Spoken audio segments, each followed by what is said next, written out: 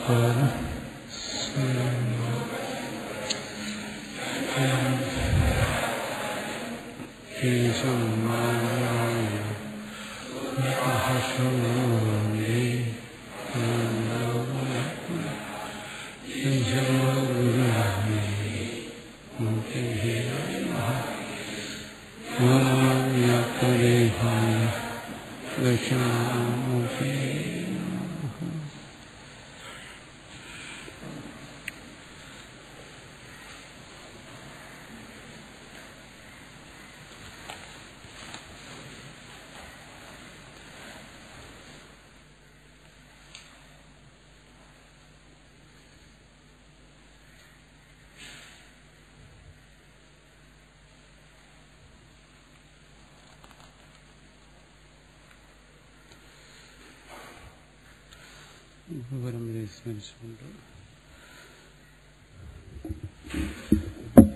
ശ്രീമദ് ഭഗവത്ഗീത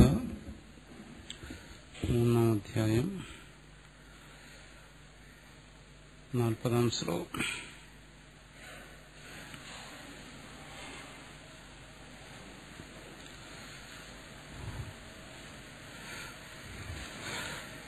ഇന്ദ്രിയാണി മനോബുദ്ധി അസ്യാധിഷ്ഠാനമുച്യത്തെ ഏതേർവിമോഹയത്യേഷ ജ്ഞാനം ആവൃത്യദേഹിനം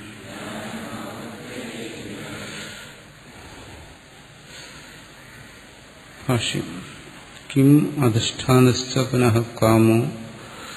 ജ്ഞാനസ്യാവരണത്വേന. വൈരി സർവസ്യ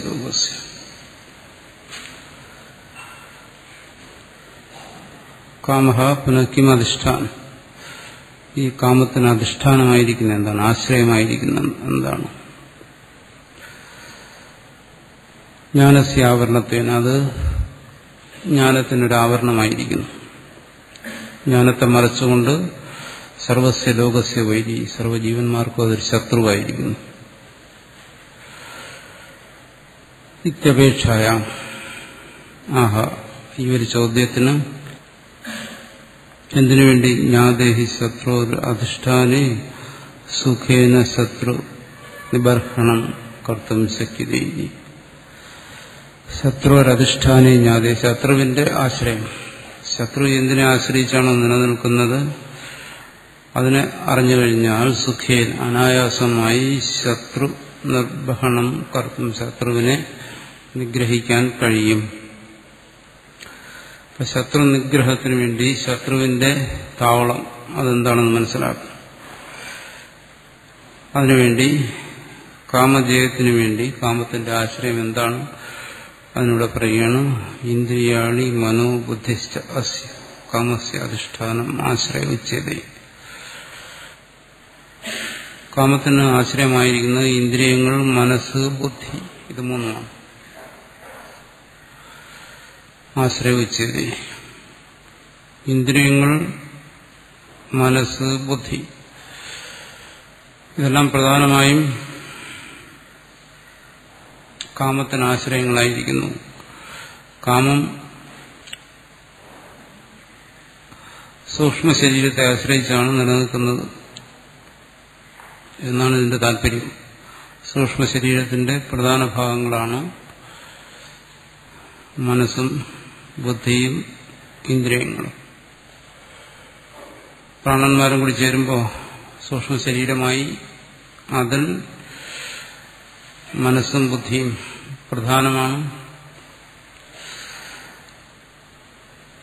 അതിൽ ഏറ്റവും പ്രധാനപ്പെട്ട ഭാഗമാണ് അന്ധകരണം. ആ അന്ധകരണത്തിന്റെ ഭാഗമാണ് കാമം.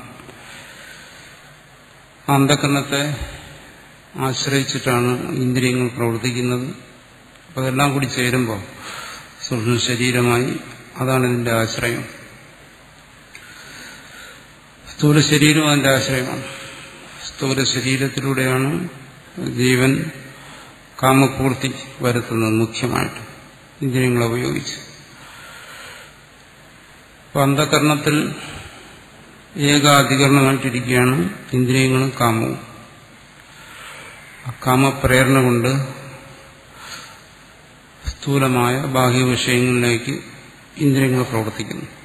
അതുകൊണ്ട് ഇന്ദ്രിയങ്ങളുടെ വിഷയപ്രവർത്തനത്തിൽ കാമം പ്രേരകമായിരിക്കുന്നു. അതുകൊണ്ട് ഇന്ദ്രിയങ്ങളുടെ ആശ്രയം ഇന്ദ്രിയങ്ങളാണ് ഈ കാമത്തിന് ആശ്രയം എന്ന് പറയുന്നു. മറിച്ചും പറയും ഇന്ദ്രിയങ്ങൾക്ക് ആശ്രയമായിരിക്കുന്നതും ഈ കാമം തന്നെ വിഷയപ്രവർത്തനത്തിന്. കാമപ്രേരണ കൊണ്ടാണ് ഇന്ദ്രിയങ്ങൾ വിഷയങ്ങളിലേക്ക് പ്രവർത്തിക്കുന്നത്. ബാഹ്യമായ വിഷയങ്ങളിലേക്ക് ഇന്ദ്രിയങ്ങൾ പോകുമ്പോൾ അതിന് പ്രേരകമായി മനസ്സ് നിൽക്കുന്നു. എങ്ങനെ? കാമത്തോട് കൂടി ചേർന്ന് മനസ്സ്. മനസ്സും കാമത്തിന്റെ ആശ്രയമാണെന്ന് പറഞ്ഞു. മനസ്സിൽ കാമസങ്കല്പങ്ങളുണ്ടാകുന്നു. തുടർന്ന് ഇന്ദ്രിയങ്ങൾ വിഷയങ്ങളിലേക്ക് പ്രവർത്തിക്കുന്നു. അതുകൊണ്ട് മനസ്സും കാമത്തിന് ആഗ്രഹമാണ്. ആശ്രയമായിരിക്കുന്നു. ഇന്ദ്രിയങ്ങൾ വിഷയങ്ങളിൽ പ്രവർത്തിക്കുമ്പോൾ ബുദ്ധി ആണ് അവിടെ തീരുമാനങ്ങൾ എടുക്കുന്നത്. അതുകൊണ്ട് ബുദ്ധിയും കാമത്തിന് ആശ്രയമാണെന്ന് പറഞ്ഞു. വിഷയ അനുഭവത്തിന് മുന്നോടിയായിട്ട് വിഷയങ്ങളിൽ ഇന്ദ്രിയങ്ങളെ നിശ്ചയമാണ്. അനുഭവന്നത് ബുദ്ധിയുടെ നിശ്ചയമാണ്. വിവേകത്തെ ശരീരത്തിലൂടെ ശരീരം എന്ന മാധ്യമത്തിലൂടെ വിഷയങ്ങളെ അനുഭവിപ്പിക്കുന്നു. അപ്പോൾ ഇതിൽ അന്തിമമായിരിക്കുന്നത് ബുദ്ധിയാണ്. ബുദ്ധിയുടെ തീരുമാനമനുസരിച്ചാണ് ജീവൻ കാമദ്വാര വിഷയങ്ങളെ അനുഭവിക്കുന്നത്. അതുകൊണ്ട് ഇന്ദ്രിയങ്ങളും മനസ്സും ബുദ്ധിയും കാമപ്രേരണ കൊണ്ടുവരുന്ന വിഷയാനുഭവത്തിന് മുഖ്യ ആശ്രയങ്ങളായിരിക്കുന്നു. ശരീരം ബാഹ്യമായതുകൊണ്ട് അതിനെ എടുത്തു പറഞ്ഞു തന്നേ ഇതാണ് മുഖ്യമായിരിക്കുന്നത്. അധിഷ്ഠാനം എന്ന് പറഞ്ഞ ആശ്രയം ഉച്ചതി. ഏതഹി ഇന്ദ്രിയാദിഭി ആശ്രയഹി വിമോഹേതി വിവിധം മോഹേതി കാമ ജ്ഞാനം ആവൃത്തി ആച്ഛാദ്യ ദേഹിനം ശരീരണം. ഈ ജീവന്മാരെയെല്ലാം ദേഹികളെ ശരീരങ്ങളെ ഏതേഹി ഇന്ദ്രിയാദിഭി ഇന്ദ്രിയങ്ങൾ തുടങ്ങിയവയിലൂടെ ഇന്ദ്രിയങ്ങൾ വിഷയങ്ങളിലേക്ക് പ്രവർത്തിക്കുന്നു മനസ്സുകൊണ്ട് സങ്കല്പിക്കുന്നു ബുദ്ധി കൊണ്ട് തീരുമാനമെടുക്കുന്നു. അങ്ങനെ വിമോഹയതി വിവിധം മോഹയതി. ജീവനെ മോഹിപ്പിക്കുന്നു. മോഹം എന്ന് പറയുന്നത് ആ വിവേകത്തിന്റെ നാശമാണ്. ആ ജീവന്റെ വിവേകത്തെ നശിപ്പിക്കുന്നു. കാമ അനുഭവം വിവേകനാശം കൊണ്ട് സംഭവിക്കുന്നു. കാമ അനുഭവം കൊണ്ടും വിവേകം നശിക്കുന്നു. വിവിധം മോഹയതി പലതരത്തിൽ അവന്റെ വിവേകത്തെ നശിപ്പിക്കുന്നു. ജ്ഞാനം ഇവിടെ പ്രത്യേകം പറയുന്നുണ്ട് ജ്ഞാനത്തെ മറച്ചുകൊണ്ടാണ്. എന്ന് പ്രത്യേകിച്ച് പറയുന്നത് എന്തുകൊണ്ട്? കാരണം വിവേകികളെ കാമം കീഴ്പ്പെടുത്തുന്നു എന്ന് കാണിക്കാൻ വേണ്ടിയിട്ടാണ്. സാധാരണ അജ്ഞന്മാരെ സംബന്ധിച്ചിടത്തോളം കാമം ഒരു വിഷയമല്ല. അവിടെ വിവേകമില്ല. അതുകൊണ്ട് കാമം സഹജമായി സ്വതന്ത്രമായി പ്രവർത്തിച്ചുകൊണ്ടിരിക്കുന്നു. അവിടെ കാമത്തെ നിയന്ത്രിക്കുന്ന ആവശ്യം വരുന്നില്ല. അത് മൃഗങ്ങളിൽ എന്നതുപോലെ സഹജമായ പ്രവൃത്തിയാണ്. അവിടെ വിവേകത്തെ മറച്ചിട്ട് പ്രവർത്തിക്കേണ്ട ആവശ്യം വരുന്നില്ല. കാരണം അവിടെ വിവേകമില്ല. സ്വയം ജ്ഞാനിയെ സംബന്ധിച്ചാണെങ്കിലോ വിവേകമുണ്ട്. കാമത്തെ നിയന്ത്രിക്കുന്നതിനും കാമത്തെ അതിജീവിക്കുന്നതിനും വേണ്ട വിവേകം ഉള്ള വിവേകികൾ. യോഗികളിൽ ആ ജ്ഞാനത്തെ ആർജിതമായ ആ ജ്ഞാനത്തെ കീഴ്പ്പെടുത്തി ആച്ഛാദ്യ ദേഹിനം ശരീരം ആ ജീവനെ കീഴ്പ്പെടുത്തി വിമോഹേതി. ഇത് മോഹിപ്പിക്കുന്നു. അത് കാമത്തിന്റെ ശക്തി കാണിക്കാൻ വേണ്ടിയാണ് അത് ജ്ഞാനികളെപ്പോലും മോഹിപ്പിക്കുന്നു. വിവേകികളെപ്പോലും മോഹിപ്പിക്കുന്നു യോഗികളെപ്പോലും മോഹിപ്പിക്കുന്നു. എന്നിവിടെ പ്രത്യേകിച്ചെടുത്ത് പറയുകയാണ്.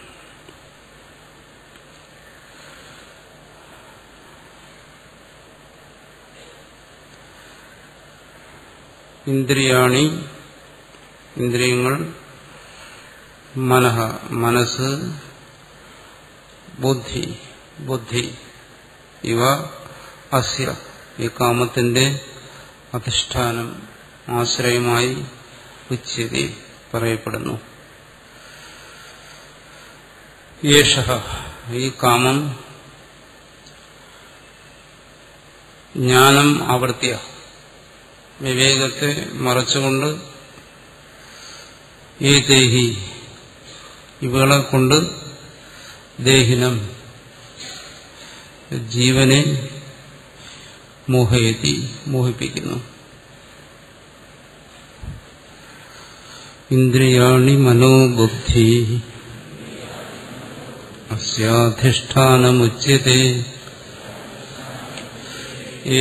ഏതൈർവിമോഹയത്യേഷ ജ്ഞാനം ആവൃത്യ ദേഹിനം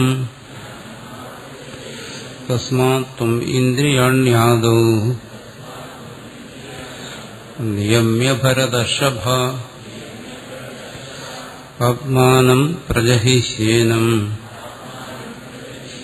ജ്ഞാനവിജ്ഞാനനാശനം തസ്മാതേതേവം തസ്മാത് ഇതിങ്ങനെ ആയതുകൊണ്ട് ഈ കാമം ജീവന്മാരെ വിവേകികളെ പോലും മോഹിപ്പിക്കുന്നു. അതുകൊണ്ട് തസ്മാത് അതുകൊണ്ട് ത്വം.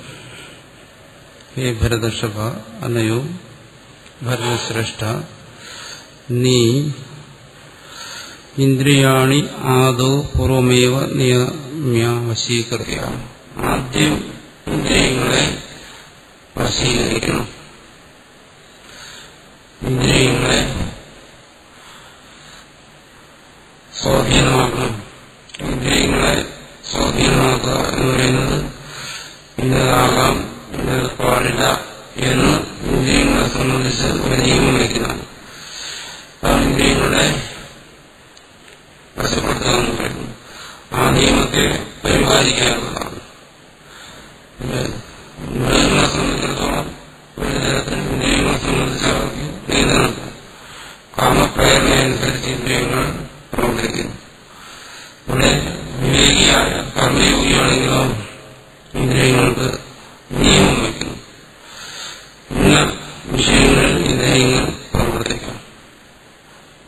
സാധനയ്ക്ക് അനുകൂലമായ വിഷയങ്ങളിൽ മാത്രം ഇന്ദ്രിയങ്ങൾ പ്രവർത്തിക്കുന്നു. അതിന് പ്രതികൂലമായി വരുന്ന ഒരു വിഷയങ്ങൾ ശബ്ദസ്പർശനപരസഗന്ധങ്ങൾ ഇവിടെ അനുഭവപ്പെടുന്ന ഒരു വിഷയങ്ങളിലും ഇന്ദ്രിയങ്ങളെ പ്രവർത്തിപ്പിക്കുന്നില്ല. അങ്ങനെ തീരുമാനമെടുക്കുന്നു. അവിടെ ഇന്ദ്രിയങ്ങളെ സംബന്ധിച്ച് ഇന്ദ്രിയങ്ങളുടെ സഹജമായ പ്രവർത്തനങ്ങളെ തുടർന്നു വരുന്ന മനസ്സിന്റെ സങ്കല്പം. ആ സങ്കല്പങ്ങൾക്ക് നിയമിക്കുന്നു സങ്കല്പങ്ങൾ മനസ്സ് വരാൻ അനുവദിക്കുന്ന സങ്കല്പിക്കുന്നില്ല മനസ്സ് ഇന്ദ്രിയങ്ങളും ബുദ്ധിയുമാണ് ഇതിന്റെ ആശ്രയം ഇന്ദ്രിയങ്ങൾ സഹജമായി കാമ്യ വിഷയങ്ങളിലേക്ക് പോകുന്നു. പോകുന്നതിന് മുമ്പും പിമ്പും മാനസിക സങ്കല്പങ്ങൾ ഉണ്ടാകുന്നു.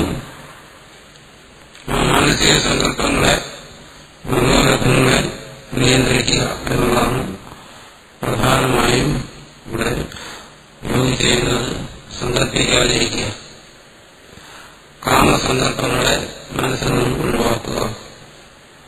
അതാണ് ആ സങ്കല്പങ്ങളെ ഒഴിവാക്കുന്നതോടൊപ്പം മനസ്സ് കൊണ്ട് വിരുദ്ധങ്ങളായ പ്രതികൂലങ്ങളായ വിഷയങ്ങളിൽ ഇന്ദ്രിയങ്ങളെ പ്രവർത്തിപ്പിക്കാതിരിക്കുക. അതിനുവേണ്ടി ബുദ്ധി കൊണ്ട് തീരുമാനമെടുക്കുക അത് ഇന്ന വിഷയങ്ങൾ നിഷിദ്ധങ്ങളാണ് ആ വിഷയങ്ങൾ പ്രവർത്തിക്കാൻ പാടില്ല. എന്ന് ബുദ്ധിയോട് തീരുമാനമെടുക്കുന്നത് അങ്ങനെ തീരുമാനമെടുക്കുമ്പോൾ ഇന്ദ്രിയങ്ങളുടെ നിയന്ത്രണം സ്വാധീനമായി വരുന്നു അതാണ് പറയുന്നത് ആദ്യം ഇന്ദ്രിയങ്ങളുടെ നിയന്ത്രണം വേണം. ഇന്ദ്രിയങ്ങളുടെ വിഷയങ്ങൾ പ്രവർത്തിപ്പിക്കാതിരിക്കണം. ഇന്ദ്രിയങ്ങൾ വിഷയങ്ങൾ പ്രവർത്തിക്കുകയും മനസ്സുകൊണ്ട് പിന്മാറാൻ ശ്രമിക്കുകയും ചെയ്താൽ അത് നടക്കുന്നു നിത്യങ്ങൾ വിഷയങ്ങൾ പ്രവർത്തിക്കുകയും വിദഗ്ധങ്ങളായ വിഷയങ്ങൾ മനസ്സുകൊണ്ട് നിസ്സംഗത പാലിക്കുകയും ചെയ്യാൻ സാധിക്കത്തില്ല എന്തുകൊണ്ട്? മനസ്സ് നിസ്സംഗമാണെങ്കിൽ പ്രവർത്തിക്കത്തില്ല. കാരണം ഇന്ദ്രിയങ്ങളെ വിഷയങ്ങൾ പ്രവർത്തിപ്പിക്കുന്നത് മനസ്സിന്റെ കാമനയാണ് ആസക്തിയാണ് തൃഷ്ണയാണ്. ആ തൃഷ്ണയുള്ള മനസ്സിന് വരത്തില്ല ഒരേ സമയം ഇന്ദ്രിയങ്ങൾ വിരുദ്ധങ്ങളായ നിഷിദ്ധങ്ങളായ വിഷയങ്ങൾ പ്രവർത്തിക്കുക അതേസമയം മനസ്സാനോട് നിസ്സംഗമായിരിക്കുക അത് രണ്ട് സാധ്യമല്ല കർമ്മയോഗിയുടെ നിസ്സംഗത എന്ന് ധാർമ്മികമായ വിഷയങ്ങളിൽ മനസ്സ് പ്രവർത്തിക്കുന്നു അതിന് കാമന പ്രേരകമായിരിക്കുന്നു ധർമ്മബോധമാണ്. ധർമ്മബോധം കൊണ്ട് ധാർമ്മികമായ വിഷയങ്ങൾ മനസ്സ് പ്രവർത്തിക്കുമ്പോൾ ഇന്ദ്രിയങ്ങൾ പ്രവർത്തിക്കുമ്പോൾ നമ്മുടെ മനസ്സുകൊണ്ട് നിസ്സംഗതമാണ് ഇതിനെ തെറ്റിദ്ധരിച്ചിട്ട് ചിലവരിൽ എന്താണ് കാമപ്രേരണ കൊണ്ട് നിഷിദ്ധങ്ങളായ വിഷയങ്ങളിൽ മനസ്സ് പ്രവർത്തിക്കുമ്പോൾ നമ്മുടെ മനസ്സിന് നിസ്സംഗത പാലിക്കാറുണ്ട് അത് സാധ്യമല്ല കാരണം ആ കാമരാഹിത്യമാണ് മനസ്സിന്റെ നിസ്സംഗത എന്ന് പറയുന്നത്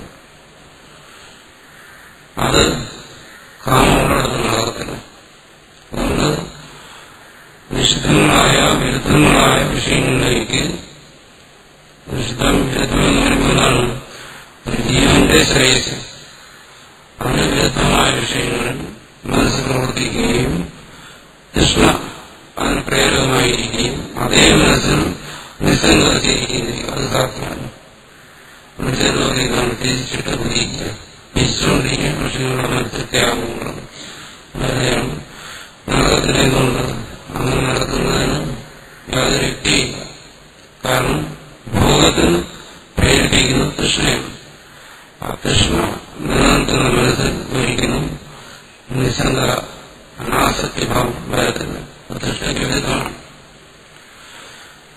അതേസമയം ധാർമ്മികമായ വിഷയങ്ങളിൽ മനസ്സ് പ്രവർത്തിക്കുമ്പോൾ ഇന്ദ്രിയാണ് ഇന്ദ്രിയാർക്കേഷു വർത്തനം സ്വാഭാവികമായ ധർമ്മയുക്തമായ വിഷയങ്ങളിൽ അവിടെ എന്താണ് കൃഷ്ണയെ പ്രേരിപ്പിക്കുന്നത് അവിടെ ധർമ്മം ബോധമാണ് ഇന്ദ്രിയങ്ങളെ വിഷയങ്ങളിൽ പ്രവർത്തിപ്പിക്കുന്നത്.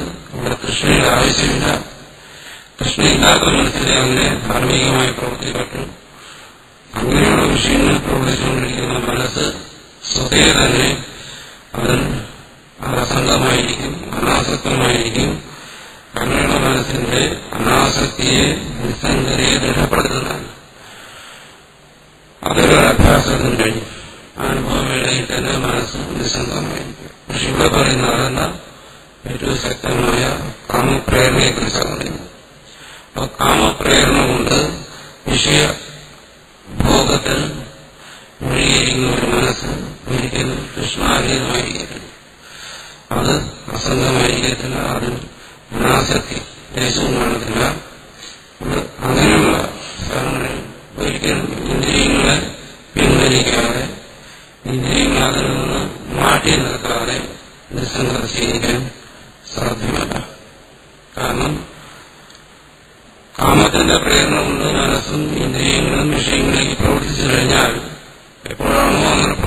കാണുന്നത് ആ സമയം തന്നെ ആ ജീവൻ ഇന്ദ്രിയത്തിന്റെയും മനസ്സിന്റെയും പ്രവർത്തനത്തിനും കാമത്തിനും കീഴ്പ്പെട്ടിരിക്കും ആ കാമത്തിന് കീഴ്പ്പെട്ടവരും മനസ്സിലിരിക്കുന്നു കാമത്തെ നിന്ന് മാറി നീക്കാനും അതിനെ ജയിക്കാനും സാധ്യമല്ല. അതുകൊണ്ട് ഇവിടെ പറയുന്നതാണ് ഇന്ദ്രിയാണി ആദ്യം നിയമം. ആദ്യം ഇന്ദ്രിയ നിയന്ത്രണം.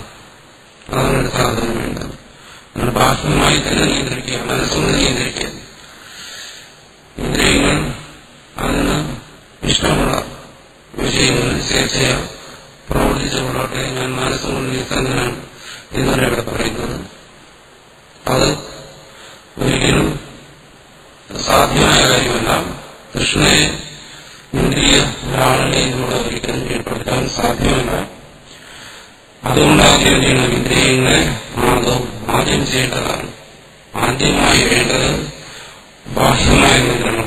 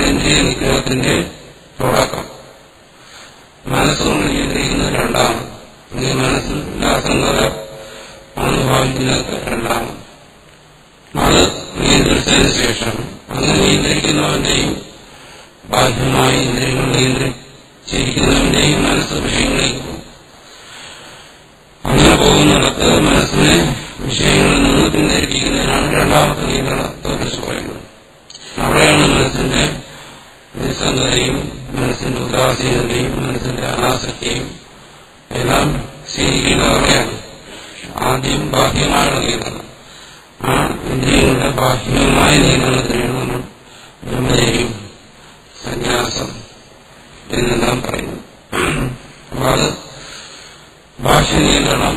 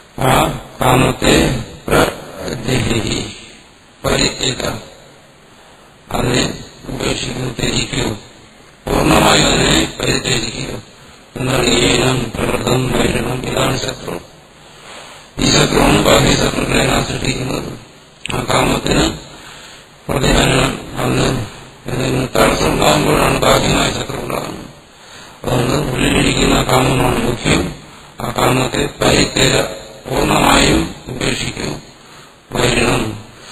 അതെന്ത് ചെയ്യുന്നു ജ്ഞാന വിജ്ഞാന നാശനം അജ്ഞാനത്തെയും വിജ്ഞാനത്തെയും നശിപ്പിക്കുന്നു. ജ്ഞാനം ശാസ്ത്രത ആചാര്യതസ്ഥ ആത്മാധീന അവബോധ. ജ്ഞാനം എന്ന് പറയുന്നത് എന്താണ്? ശാസ്ത്രത്തിൽ നിന്നും ആചാര്യത ഗുരുവിൽ നിന്നും ആത്മാധീനം ആത്മാവ് തുടങ്ങിയ തത്വങ്ങളെക്കുറിച്ചുള്ള അവബോധം. അതാണ് ജ്ഞാനം. അതിനുള്ള ജ്ഞാന വിജ്ഞാനങ്ങൾ രണ്ടെണ്ണം പറയും അതിന്റെ പ്രത്യേകത കഴിയണം ജ്ഞാന വിജ്ഞാന നാശനമാണ് ഈ കാമം അത് ജ്ഞാനം എന്ന് പറയുന്നതാണ്. ശാസ്ത്രത്തിൽ നിന്നും ഗുരുവിൽ നിന്നും ആത്മ തത്വഗ്രഹണം. നേടുന്നതായ ആത്മതത്വഗ്രഹണം? അതാണ് ജ്ഞാനം. അതിനെ നശിപ്പിക്കും. കാമം നശിപ്പിക്കുന്നതിനെ ശാസ്ത്രത്തിൽ നിന്നും ഉപയോഗിച്ച് ഗുരു ഉപദേശിച്ച്. രണ്ടിൽ നിന്നും ഉള്ളിൽ അറിവുണ്ട്. തത്വത്തിന്റെ സ്മരണയുണ്ട്. പക്ഷെ കാമശക്തമാകുമ്പോൾ എന്ത് ചെയ്യുന്നു ഈ വിവേകം നശിച്ചു നിഷിദ്ധമായ വിഷയങ്ങളിൽ മനസ്സും ഇന്ദ്രിയങ്ങളും പ്രവർത്തിച്ചു പോകും അതാണ് ഈ കാമം ജ്ഞാനത്തെ നശിപ്പിക്കുന്നതെന്ന് പറയുന്നത് ആ സമയത്ത് അതിനെ സ്മരിക്കാൻ കഴിയുന്നില്ല. അത് കഴിഞ്ഞതിന് ശേഷം വിഷയാനുഭവത്തിന് ശേഷം സ്മരിക്കും പക്ഷേ സ്മരണം പ്രയോജനമില്ല. കാരണം നശിച്ചു ജ്ഞാനം നശിച്ചു കഴിഞ്ഞു. വിജ്ഞാനമോ വിജ്ഞാനത്തെയും നശിക്കുന്നു വിശേഷത അനുഭവം. വിശേഷമായിട്ടുള്ള അതിന്റെ അനുഭവം അപ്പോ വിശേഷമായിട്ടുള്ള അനുഭവം ഉണ്ടായാലും കാമം ബാധിക്കുമോ ബാധിക്കും കാരണം വിജ്ഞാനം വിശേഷതത്തിലെ അനുഭവം തത്വജ്ഞാനത്തെ ശാസ്ത്രത്തിൽ നിന്നും ഗുരുവിൽ നിന്നും ഗ്രഹിച്ച് അത് മനനം ചെയ്ത് അത് അനുഭവമായി അനുഭൂതിയായി സ്വാംശീകരിച്ച വ്യക്തിയെ പോലും കാമം കേട്ടെടുത്തു എന്നാണ് കാരണം വിജ്ഞാനത്തെയും അത് നശിപ്പിക്കുന്നു എന്ന് പറയുന്നു അവിടെയും കാമം പ്രാരബ്ധരൂപത്തിൽ അനുഭവമുള്ള ജ്ഞാനിയെ കൂടി അത് ആ കാമം ആ അനുഭവത്തെ കൂടി നശിപ്പിക്കും അതുകൊണ്ടാണ് പലയിടത്തും പറയുന്നത് തത്വജ്ഞാനിയും മുക്തനല്ല എന്ന് പറയുന്നു കാരണം മുക്തിയെ ബാധിക്കുന്ന ആ അനുഭവത്തെ കൂടി ബാധിക്കുന്ന ശക്തി ഈ കാമത്തിനുണ്ട് അതൊന്ന് വിമോഭേദി വിശേഷണം അനുഭവ ജ്ഞാനികളെ കൂടി അത് സാധാരണ സാധനന്റെ കാര്യം പറയാനില്ല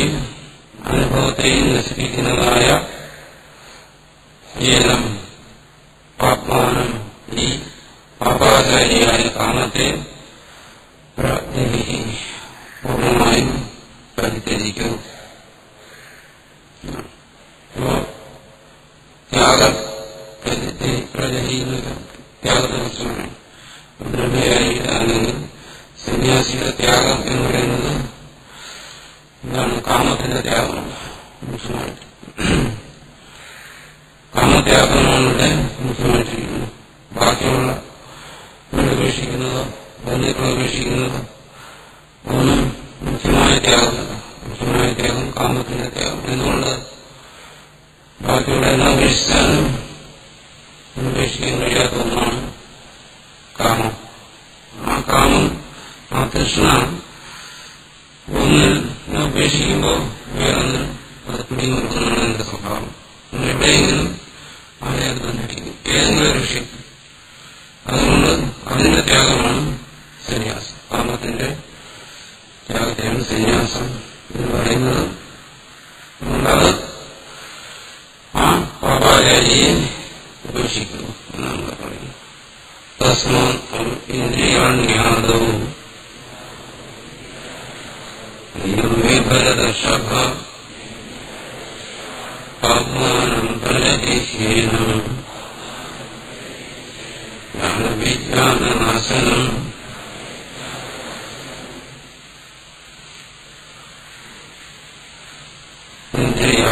पराण्याहू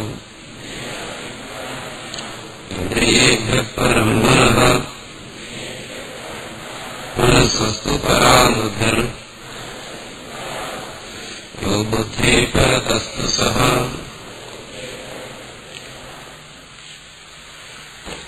ഇന്ദ്രിയാണി ആദോ നിയമ്യ കാമം ശത്രും ജഹി തത്ര കിമാശ്രയ കാമം വിദ്യ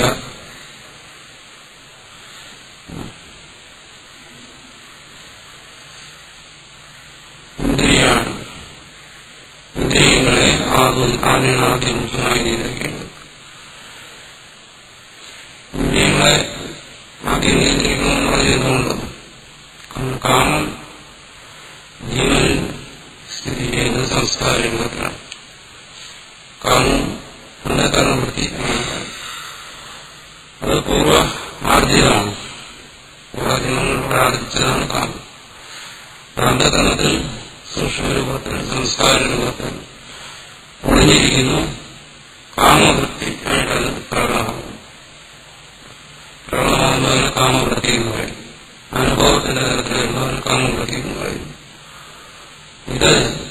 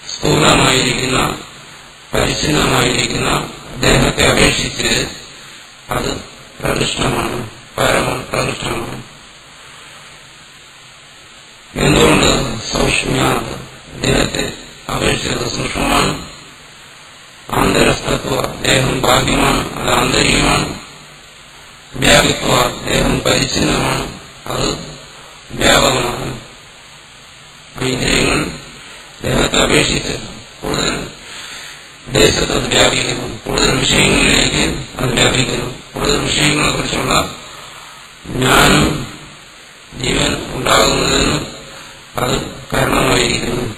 അതുകൊണ്ട് കാരണമാണെന്ന് പറയുന്നു. പ്രവിഷ്ടമാണെന്ന് പറയുന്നു. ബാഹ്യമായ ശരീരം. ഇവിടെ ശരീരം കൊണ്ട് മുഖ്യമായി ഉദ്ദേശിക്കുന്നത് ഈ കർമ്മീന്ദ്രിയങ്ങളുടെ പ്രവർത്തനം. ശരീരത്തിലൂടെ ജീവൻ കാമത്തെ അനുഭവിക്കുന്നതിന് മുഖ്യമായി ആശ്രയിക്കുന്നത് കർമ്മേന്ദ്രിയങ്ങളാണ്. പക്ഷെ കർമ്മേന്ദ്രിയങ്ങൾ കൊണ്ട് പ്രവർത്തിപ്പിക്കുന്നത് ജ്ഞാനേന്ദ്രിയങ്ങളാണ്. അപ്പോൾ ആ കർമ്മേന്ദ്രിയങ്ങളെ അപേക്ഷിച്ച് ജ്ഞാനേന്ദ്രിയങ്ങൾ കുറച്ചുകൂടി സൂക്ഷ്മമാണ്. എന്ന് പറയുമ്പോൾ കർമ്മേന്ദ്രിയങ്ങൾ എന്നുള്ളത് ഉദ്ദേശിക്കുന്നത് കർമ്മ കരണങ്ങളാണ് കർമ്മത്തിന് ഉപകരിക്കുന്ന കർണങ്ങൾ. ആ കർണങ്ങളെ അപേക്ഷിച്ച് അതാണ് ഇവിടെ നമ്മൾ ഉദ്ദേശിക്കുന്നത്. പ്രവർത്തിക്കുന്ന കർണങ്ങൾ. കാമ്യമായ വിഷയങ്ങൾ പ്രവർത്തിക്കുന്ന കാമ്യേന്ദ്രിയങ്ങളാകുന്ന കർണങ്ങൾ. ആ കർണങ്ങളെ പ്രവർത്തിപ്പിക്കുന്നത് ഈ ജ്ഞാനേന്ദ്രിയങ്ങളുടെ പ്രവൃത്തിയാണ്. അതുകൊണ്ട് കർമ്മേന്ദ്രിയങ്ങളുടെ പ്രവർത്തനം സ്ഥൂലമായി ബാഹ്യമായി നിയന്ത്രിക്കുന്നതിനും പ്രയാസമാണ് ജ്ഞാനേന്ദ്രിയങ്ങളെ മാത്രമേ കർമ്മേന്ദ്രിയങ്ങളെ നിയന്ത്രിക്കാൻ പറ്റൂ. എന്തുകൊണ്ട്?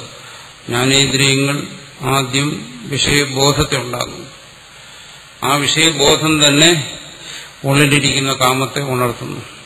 ആ കാമം ഉണർന്നു കഴിഞ്ഞാൽ കർമ്മേന്ദ്രിയങ്ങൾക്ക് പ്രവർത്തിക്കാതിരിക്കാൻ നിവർത്തിയില്ല. കർമ്മേന്ദ്രിയങ്ങൾ അതാത് വിഷയങ്ങളിൽ പ്രവർത്തിച്ചു പോകുന്നു. സ്ഥൂലമായിരിക്കുന്ന കർമ്മേന്ദ്രിയങ്ങളുടെ ബാഹ്യമായ പ്രവർത്തനങ്ങളെ സൂക്ഷ്മമായിരിക്കുന്ന ജ്ഞാനേന്ദ്രിയങ്ങൾ സ്വാധീനിക്കുന്നു. അതിന്റെ ശക്തി വലുതാണ്. അതുകൊണ്ട് അതിനാണ് പ്രകൃഷ്ടം എന്ന് പറഞ്ഞത്. കർമ്മേന്ദ്രിയങ്ങളെ അപേക്ഷിച്ച് ജ്ഞാനേന്ദ്രിയങ്ങളുടെ ശക്തി വളരെ വലുതാണ്. അതുകൊണ്ട് അതിനെ പറഞ്ഞു എന്താണത് പ്രകൃഷ്ടമാണ് എന്ന് പറയുമ്പോൾ അതിനെ നിയന്ത്രിക്കുന്നതും ശ്രമകരമാണ്. കർമ്മേന്ദ്രിയങ്ങളുടെ നിയന്ത്രിക്കുന്നതിനെ അപേക്ഷിച്ച് എന്തുകൊണ്ട്? കൈകാലുകൾ പ്രവർത്തിക്കുന്നു. ഒരു വസ്തുവിനെ ഗ്രഹിക്കുന്നു. പാദം കൊണ്ട് സഞ്ചരിക്കുന്നു. അതെല്ലാം തടഞ്ഞു വയ്ക്കാം. വേണ്ട എന്ന് കരുതാം. പക്ഷേ കണ്ണിനെ കാണുന്ന കണ്ണിനെ തടയുക കേൾക്കുന്ന ചെവിയെ തടയുക അതുപോലെ ചെയ്യാൻ സാധ്യമല്ല. അതിന് കേട്ടേ മതിയാവൂ കണ്ടേ മതിയാവൂ. അതാണ് ആ ഇന്ദ്രിയങ്ങളുടെ അവസ്ഥ. അതുകൊണ്ടാണ് അത് പ്രകൃഷ്ടം എന്ന് പറഞ്ഞത്. അത് കുറച്ചുകൂടി സ്വതന്ത്രമാണ്. കർമ്മേന്ദ്രിയങ്ങളെ പോലെയല്ല. കർമ്മേന്ദ്രിയങ്ങളെ പിടിച്ചു നിർത്തും. പക്ഷേ ജ്ഞാനേന്ദ്രിയങ്ങളെ പിടിച്ചു നിർത്താൻ പ്രയാസമാണ്. അത് കൂടുതൽ സ്വതന്ത്രമാണ്. എന്തുകൊണ്ട്? അത് സൂക്ഷ്മമാണ് കൂടുതൽ വ്യാപിയാണ് അത് കൂടുതൽ ആന്തരമാണ് ജീവന്റെ ഇച്ഛയ്ക്ക് അത് എളുപ്പം വഴങ്ങുന്നതല്ല. അതുകൊണ്ട് അത് പ്രകൃഷ്ടമാണെന്ന് പറഞ്ഞു. തഥ അതുപോലെ തന്നെ ഇന്ദ്രിയേഭ്യ പരം മനഃ അതിനേക്കാൾ വിഷമമാണ് മനസ്സ്. എന്തുകൊണ്ടത്? ഇന്ദ്രിയങ്ങളെക്കാൾ പ്രകൃഷ്ടമാണ്. കൂടുതൽ സ്വാധീനമുള്ളവയാണ് കൂടുതൽ ശക്തിമത്താണ് മനസ്സ്. കണ്ണുകൊണ്ട് കാണണ്ട എന്ന് കരുതി കണ്ണടച്ചാലും മനസ്സ് കാണും. ചെവി കൊണ്ട് കേൾക്കണ്ട എന്ന് കരുതി ചെവി പൊത്തിയാലും എന്ത് ചെയ്യും? മനസ്സ് കേൾക്കും. അപ്പോൾ എന്തുവരുന്നു ഇന്ദ്രിയങ്ങളെ ആ ജ്ഞാനേന്ദ്രിയങ്ങളെ നിയന്ത്രിച്ചാലും മനസ്സിന് നിയന്ത്രിക്കാൻ കഴിയത്തില്ല. അതാണ് അതിന്റെ പ്രകൃഷ്ടത. അപ്പോൾ കാമത്തിനാശ്രയമായിരിക്കുന്ന ബാഹ്യകരണങ്ങൾ കർമ്മേന്ദ്രിയങ്ങൾ ഇന്ദ്രിയങ്ങൾ മനസ്സ് ഇത് ഉപരി ഉപരി ഓരോന്നും കൂടുതൽ കൂടുതൽ ശക്തങ്ങളാണ്. ജീവനെ കാമ്യ വിഷയങ്ങളിലേക്ക് പ്രവർത്തിപ്പിക്കുന്നതിന് കൂടുതൽ ശക്തിയുള്ളവയാണ് ഇത് ഓരോന്നും. മനസ്സങ്കല്പ വികല്പാത്മകം മനസ്സ് സദാസമയവും വിഷയധ്യാനത്തിൽ തന്നെ കഴിയുന്നവയാണ് അതിനെ ഇന്ദ്രിയങ്ങളെ നിഗ്രഹിച്ചാലും നിഗ്രഹിക്കാൻ പ്രയാസമുള്ളതാണ്. എന്തുകൊണ്ട്? അത് ഇതിനേക്കാൾ അപേക്ഷിച്ച് സൂക്ഷ്മമാണ് കൂടുതൽ ആന്തരമാണ് കൂടുതൽ വ്യാപിയാണ്.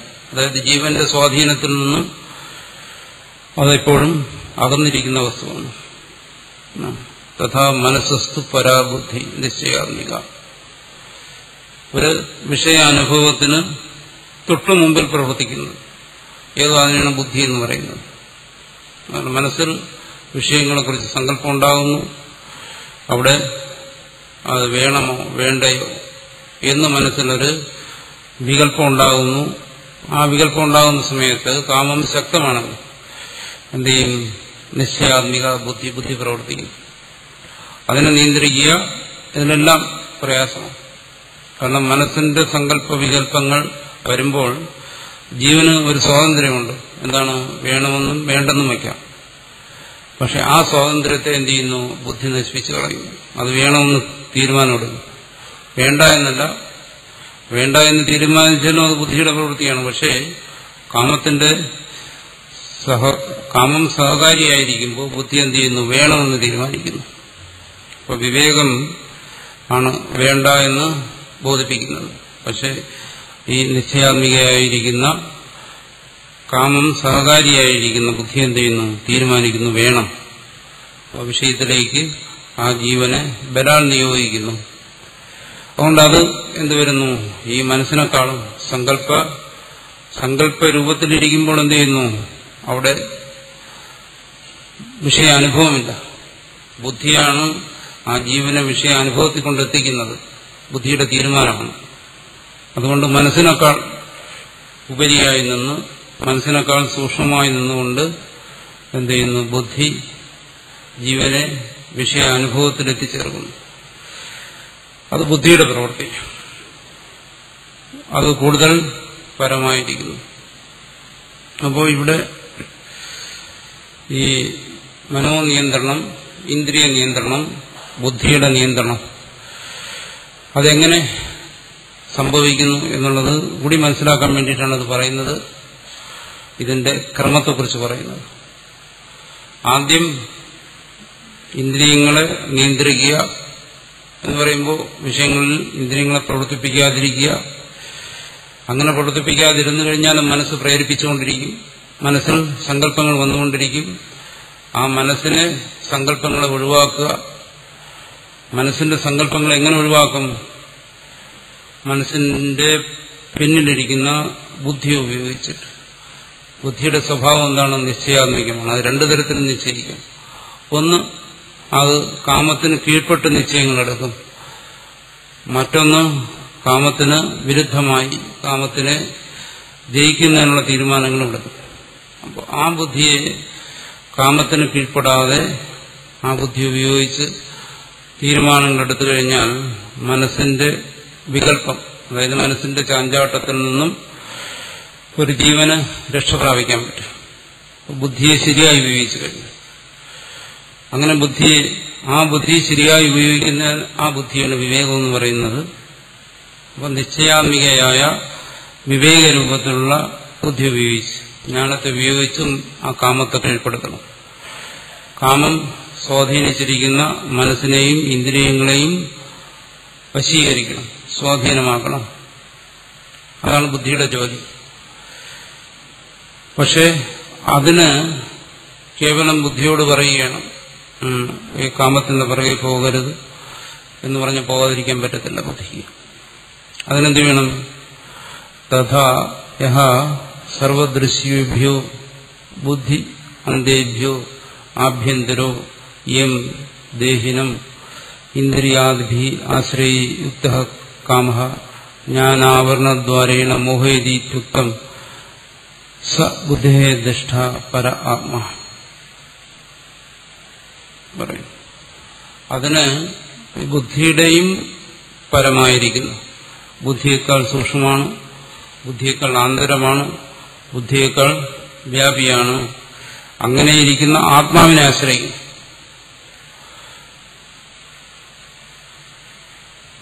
കാമത്തെ നിയന്ത്രിക്കുക കാമത്തെ അതിജീവിക്കുക. ആദ്യം കാമത്തെ നിയന്ത്രിക്കുന്നതിനുള്ള ഉപായങ്ങളാണ് പറഞ്ഞത്. അതിനെ ഇന്ദ്രിയങ്ങളുടെ തലത്തിൽ മനസ്സിന്റെ തലത്തിൽ ബുദ്ധിയുടെ തലത്തിൽ അതിനെ നിയന്ത്രിക്കുക.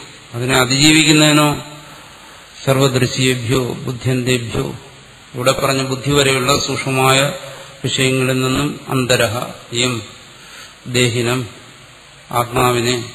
ഇന്ദ്രിയാദിഭി ആശ്രയയുക്ത കാമ ഇന്ദ്രിയാദി ആശ്രയങ്ങളോടുകൂടി ചേർന്ന ആ കാമം ഏതൊരു ദേഹിയാണോ ഞാൻ ആവരണദ്വാരേണ മോഹയതി ഞാൻ ആവരണമായി നിന്നുകൊണ്ട് വിവേകത്തിന് മറയായി നിന്നുകൊണ്ട് ഏതൊരാത്മാവിനെയാണോ ഏതൊരു ജീവനെയാണ് മോഹിപ്പിക്കുന്നത്? സ ദൃഷ്ട. പരാത്മ. അവനാണ് ബുദ്ധിക്ക് ദൃഷ്ടാവായിരിക്കുന്ന പരനായിരിക്കുന്ന ആത്മാവ്. ആ ആത്മാവ് ഈ ബുദ്ധ്യാദി ഉപാധികളോടുകൂടി ചേർന്ന് ജീവഭാവത്തിലിരിക്കുമ്പോൾ ആ ജീവനെ ഇതെല്ലാം കൂടി ചേർന്ന് മോഹിപ്പിക്കുന്നു അതാണ് ഇവിടെ പറഞ്ഞത്. ആത്മാവിനെ പരംബുദ്ധു അടുത്ത് പറയും അതിനെ അറിഞ്ഞുകൊണ്ട് വേണം ഇതിൽ നിന്നും ഇതിനെ ജയിക്കേണ്ടത് കാമത്തെ അതിജീവിക്കേണ്ടത്. കാമത്തെ നിയന്ത്രിക്കുക അതാദ്യം കാമത്തെ അതിജീവിക്കുക അതവസാനം. രസോപ്യസ്യ പരം ദൃഷ്ട നിവൃത്തത മുമ്പും പറഞ്ഞിട്ടുണ്ട്.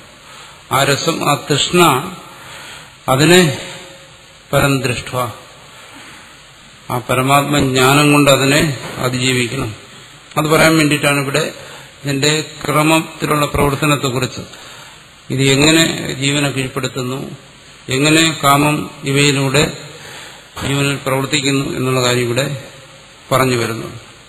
അതുകൊണ്ട് ബുദ്ധിക്ക് അപ്പുറമുള്ള ഒരു കർമ്മയോഗിയും ജ്ഞാനിയും ഈ കാമത്തെ അതിജീവിക്കേണ്ടത്. അടുത്ത് പറയാൻ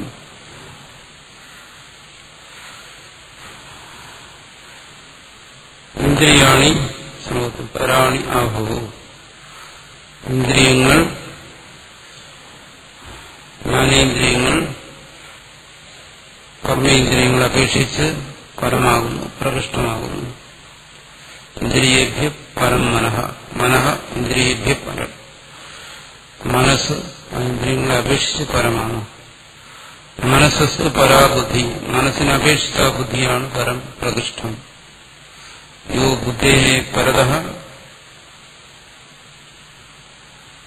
ഏതെന്നാണോ യഹതു ഏതെന്നാണോ ബുദ്ധിക്ക് പരമായിരിക്കുന്നത് സഹ അതാണ് ആത്മാവ്. ഇന്ദ്രിയാണി പരാണ്യാഹു ഇന്ദ്രിയേഭ്യ പരം മനഃ। മനസ്സസ്തു പരാബുദ്ധിർ യോ ബുദ്ധി പരതസ്തു സഹ ഇത് ഉപനിഷത്തിൽ തന്നെ വരുന്ന ഒരു മന്ത്രത്തിന്റെ തന്നെ രൂപമാണത്. ഏവം ബുദ്ധി പരം ബുദ്ധ സംസ്കൃത്യാത്മാനം ആത്മന। ജഹിശക്രം മഹാബാഹോ। കാമരൂപം ദുരാസദം തുടക്കും ഇത്രയും വിശദീകരിച്ച് ഈ ഇന്ദ്രിയങ്ങളെയും മനസ്സും ബുദ്ധിയുടെയും ഒരു ക്രമത്തെക്കുറിച്ച് ഇവിടെ പറഞ്ഞു. ഇതുകൊണ്ടെന്താണ്? എവം ബുദ്ധിയെ പരം ആത്മാനം ബുദ്ധ ജ്ഞാത്വ. ഈ കാമത്തെ അതിജീവിക്കുന്നതിന് ഉള്ള വഴി എന്താണ് ബുദ്ധിയെ പരം ആത്മാനം ബുദ്ധ. ഈ ബുദ്ധിക്കും അപ്പുറമായിട്ടുള്ള ആത്മാവിനെ ബുദ്ധ അറിഞ്ഞിട്ട് ബുദ്ധിയെ പരം ബുദ്ധ. ബുദ്ധിക്ക് അപ്പുറമുള്ള ആത്മാവിനെ അറിഞ്ഞിട്ടില്ലാക്കുക അറിഞ്ഞിട്ട് അറിഞ്ഞുണ്ടായില്ല സംസ്തഭ്യ സമ്യക് സ്തംഭനം കൃത്വ ആത്മാനം സ്വേനൈവ ആത്മന സംസ്കൃതേന മനസ്സ സമ്യക് സമാധായ. ഈ ആത്മാവിനെ അറിഞ്ഞുകൊണ്ട് എന്നർത്ഥം. സംസ്തഭ്യ സമ്യക് സ്തംഭനം പറയും എന്ന് പറഞ്ഞാൽ എന്താണ്? ആത്മാനം തന്നെ ഒരു ജീവൻ സ്വയം തന്നെ തന്നെ സ്വേനയ ആത്മന ആത്മന ആത്മാനം സംസ്തഭ്യന ആത്മന ആത്മാവിനെ കൊണ്ട് ആത്മാവെന്ന് പറഞ്ഞാൽ എന്താണ്? സംസ്കൃതേന മനസ്സ്. സംസ്കൃതമായ മനസ്സുകൊണ്ട് ആത്മാനം തന്നെ ആ ജീവൻ തന്നെ സംസ്തഭ്യ സ്തംഭനം കൃത്വ എന്നാണ് പറഞ്ഞിരിക്കുന്നത് എന്നുവെച്ചാൽ ആ തന്റെ സ്തംഭനം തന്നിൽ തന്നെ നിർത്തുക എന്നാണ്. തന്റെ മനസ്സിനെ തന്റെ ഇന്ദ്രിയങ്ങളെ തന്റെ ബുദ്ധിയെ എല്ലാം തനിക്ക് അധീനമാക്കി തന്നെ നിർത്തുക. അതാണ് തന്നെ സ്വയം സ്തംഭിപ്പിക്കുക എന്ന് പറയുന്നത്. ഇതിനെല്ലാം തന്നിൽ തന്നെ നടത്തിക്കൊണ്ട് നിർത്തും ഈ ശത്രുവിനെ പരിത്യജിക്കുമെന്നാണ് ആത്മാവിനെ അറിഞ്ഞിട്ട് കാമത്തെ ജയിക്കാൻ പറയുന്നു. ആത്മാവിനെ അറിയുന്നതിന് തടസ്സമായി നിൽക്കുന്നതാണ് കാമം. ആത്മാവിനെ അറിയുന്നതിന് കാമം തടസ്സമായി നിൽക്കുമ്പോൾ എങ്ങനെ ആത്മാവിനെ അറിഞ്ഞിട്ട് കാമത്തെ ജയിക്കാൻ പറ്റും എന്നൊരു സംശയം വരാം കാരണം ആത്മാവിനെ അറിയുന്നതിന് തടസ്സമായി നിൽക്കുന്നു. ഒരു സാധുവിന്റെ പരിശ്രമത്തിന് വേണ്ടിയിട്ടാണ് ആത്മബോധത്തിന് വേണ്ടിയിട്ടാണ്. അങ്ങനെ പരിശ്രമിക്കുന്ന ഒരു സാധകന് തടസ്സം സൃഷ്ടിക്കുന്ന എന്താണ്? ഈ കാമമാണ്. ഇവിടെ അവസാനം പറയുന്നത് എന്താണ്?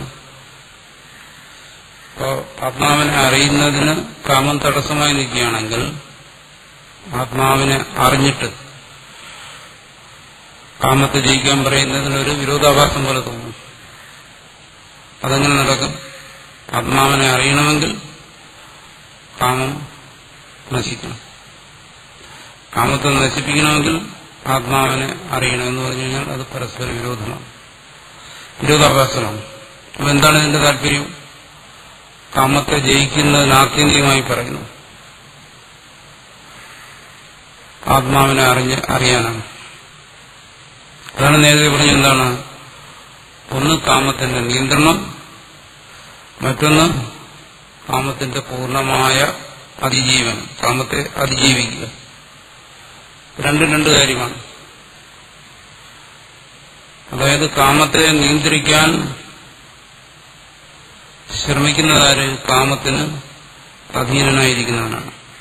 അവനതിനെ അതിജീവിക്കുന്നതിന് വേണ്ടി അവനതിനെ നിയന്ത്രിക്കുന്നതിന് വേണ്ടി പരിശ്രമം ആവശ്യമായി വരുന്നു കാമത്തിന് കീഴ്പ്പെട്ടു പോകുന്ന ഒരു മനസ്സാണ് കാമത്തെ നിയന്ത്രിക്കാൻ വേണ്ടി ശ്രമിക്കുന്നത്. അങ്ങനെയുള്ള ഒരു മനസ്സ് തന്നെയാണ് ഈ മനസ്സിനും ബുദ്ധിക്കും അപ്പുറമുള്ള ആത്മാവിനെ അറിയാൻ ശ്രമിക്കുന്നത്.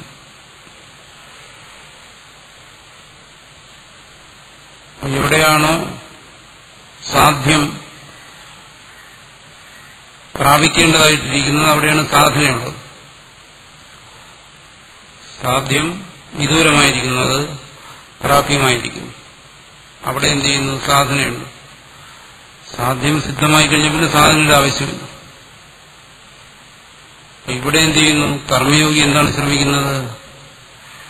തന്റെ കർമാനുഷ്ഠാനങ്ങളിലൂടെ ആ കർമാനുഷ്ഠാനത്തിൽ അയാൾ മുഴുകിയിരിക്കുമ്പോൾ അയാളെ ബാധിക്കുന്ന ശത്രുവാണ് കാമം. അപ്പൊ കാമബാധ ഇതിരിക്കുന്നവൻ അതിന്റെ നിയന്ത്രണത്തിന് വേണ്ടി തന്റെ യോഗാനുഷ്ഠാനത്തിലൂടെ ശ്രമിച്ചുകൊണ്ടിരിക്കുകയാണ്. ഇത് ക്രമികമായി സംഭവിക്കുന്നു. അയാളുടെ സത്വശുദ്ധി അന്ധകരണശുദ്ധി എന്ന് പറയുന്നത് അയാളുടെ കാമജയത്തെ ആശ്രയിച്ചിരിക്കുന്നു. പൂർണമായും കാമത്തിൽ മുഴുകിയിരിക്കുന്ന ഒരു മനസ്സ് ഒരിക്കലും യോഗം ഉണ്ടാകത്തില്ല. അയാൾ കർമ്മയോഗിയല്ല. അയാൾ ഭക്തി ഉണ്ടാകത്തില്ല യോഗം ഉണ്ടാകത്തില്ല ജ്ഞാനം ഉണ്ടാകത്തില്ല. ഇവിടെ കർമ്മയോഗി എന്ന് പറയുന്നത് ജിജ്ഞാസുവാണ്. അയാളുടെ അന്ധകരണത്തിൽ കാമമുണ്ട് അത് ശക്തവുമാണ്. പക്ഷെ അതിനെന്ത് ചെയ്യുന്നു? ജയിക്കുന്നതിനുള്ള അല്ലെങ്കിൽ അതിനെ നിയന്ത്രിക്കുന്നതിനുള്ള ഉപായങ്ങളെ കുറിച്ച് അയാൾ ചിന്തിക്കുന്നു. അതിനുവേണ്ടി അയാൾ പ്രവർത്തിക്കുന്നു. അതിന് നിയന്ത്രണത്തിനുള്ള മുഖ്യമായ ഉപായി ഉപാധിയായിട്ട് ആദ്യം സ്വീകരിക്കുന്നതാണ് വിഷയങ്ങളിലുള്ള ദോഷദൃഷ്ടി. അതാദ്യം അതിനെ സ്വീകരിക്കുന്നു. കാരണം ഈ വിഷയ അനുഭവങ്ങൾ അത് മനസ്സിനെയും ഇന്ദ്രിയങ്ങളെയും ശരീരത്തെയും തളർത്തുന്നു. ആ വിഷയ അനുഭവത്തിലേക്ക് ഇവയെ നിയോഗിച്ചു കഴിഞ്ഞാൽ ഒരിക്കലും അത് ആത്മലാഭത്തിന് ഇവയെ ഉപയോഗിക്കാൻ കഴിയാതെ വരും. വിഷയാനുഭവത്തിനും മുഴുകിയിരിക്കുന്ന ഭരണങ്ങൾക്കും മനസ്സിനും ഒരിക്കലും ആത്മലാഭത്തിന് വേണ്ടി പ്രവർത്തിക്കാൻ കഴിയത്തില്ല. കാരണം വിഷയാനുഭവം കൊണ്ട് തന്നെ തളർന്നു അത് നശിച്ചു പോകും. അതുകൊണ്ട് വിഷയാനുഭവം ദോഷമാണ്. ആത്മമോക്ഷത്തിനത് തടസ്സമാണ്. അങ്ങനെ ചിന്തിക്കുന്നതാണ് വിഷയങ്ങളിലുള്ള ദോഷദൃഷ്ടി. ഈ ദോഷദൃഷ്ടി കൊണ്ട് മനസ്സിന്റെ സഹജമായിട്ടുള്ള പ്രേരണകളെ അതിജീവിക്കുന്നതിന് കാമപ്രേരണകളെ അതിജീവിക്കുന്നതിന് ശ്രമിച്ചുകൊണ്ടിരിക്കുന്ന കർമ്മയോഗം. അങ്ങനെ ശ്രമിക്കുന്നതിന് വിഷയങ്ങളിലുള്ള ദോഷദൃഷ്ടി കൊണ്ട് മാത്രം പറ്റത്തില്ല. മറിച്ചോ ആത്മബോധവും വേണം. ആണ് പരം ബുദ്ധ പക്ഷെ ആത്മബോധത്തിന് ഈ കാമം തന്നെ തടസ്സമായി ഇരിക്കുന്നത് കൊണ്ട് ഒരാൾ എത്രമാത്രം ഇന്ദ്രിയ നിഗ്രഹത്തിൽ മനോനിയന്ത്രണത്തിൽ പുരോഗമിക്കുന്നുവോ? അതിനനുസരിച്ച് മാത്രമേ അയാൾ ആത്മബോധം പ്രകാശിക്കത്തുള്ളൂ വിഷയങ്ങളിലുള്ള ദോഷദൃഷ്ടി ദോഷചിന്തനം കൊണ്ട് അയാൾ വിഷയങ്ങളിൽ നിന്നും അകന്നു നിൽക്കുന്നു. പ്രഥമമായി ഇവിടെ പറഞ്ഞല്ലോ ആദ്യം വേണ്ടത് ഇന്ദ്രിയ നിഗ്രഹമാണ് അപ്പോൾ ആ ഇന്ദ്രിയ നിഗ്രഹത്തിന് ഏറ്റവും പ്രധാനമായി വേണ്ടത്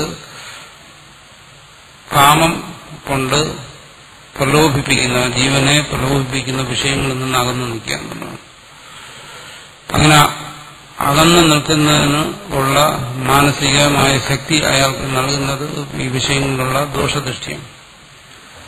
അങ്ങനെ ബാഹ്യമായി അകന്നു നിൽക്കുക എന്ന് പറയുന്നതാണ് അതിന്റെ ഒന്നാമത്തെ പടി.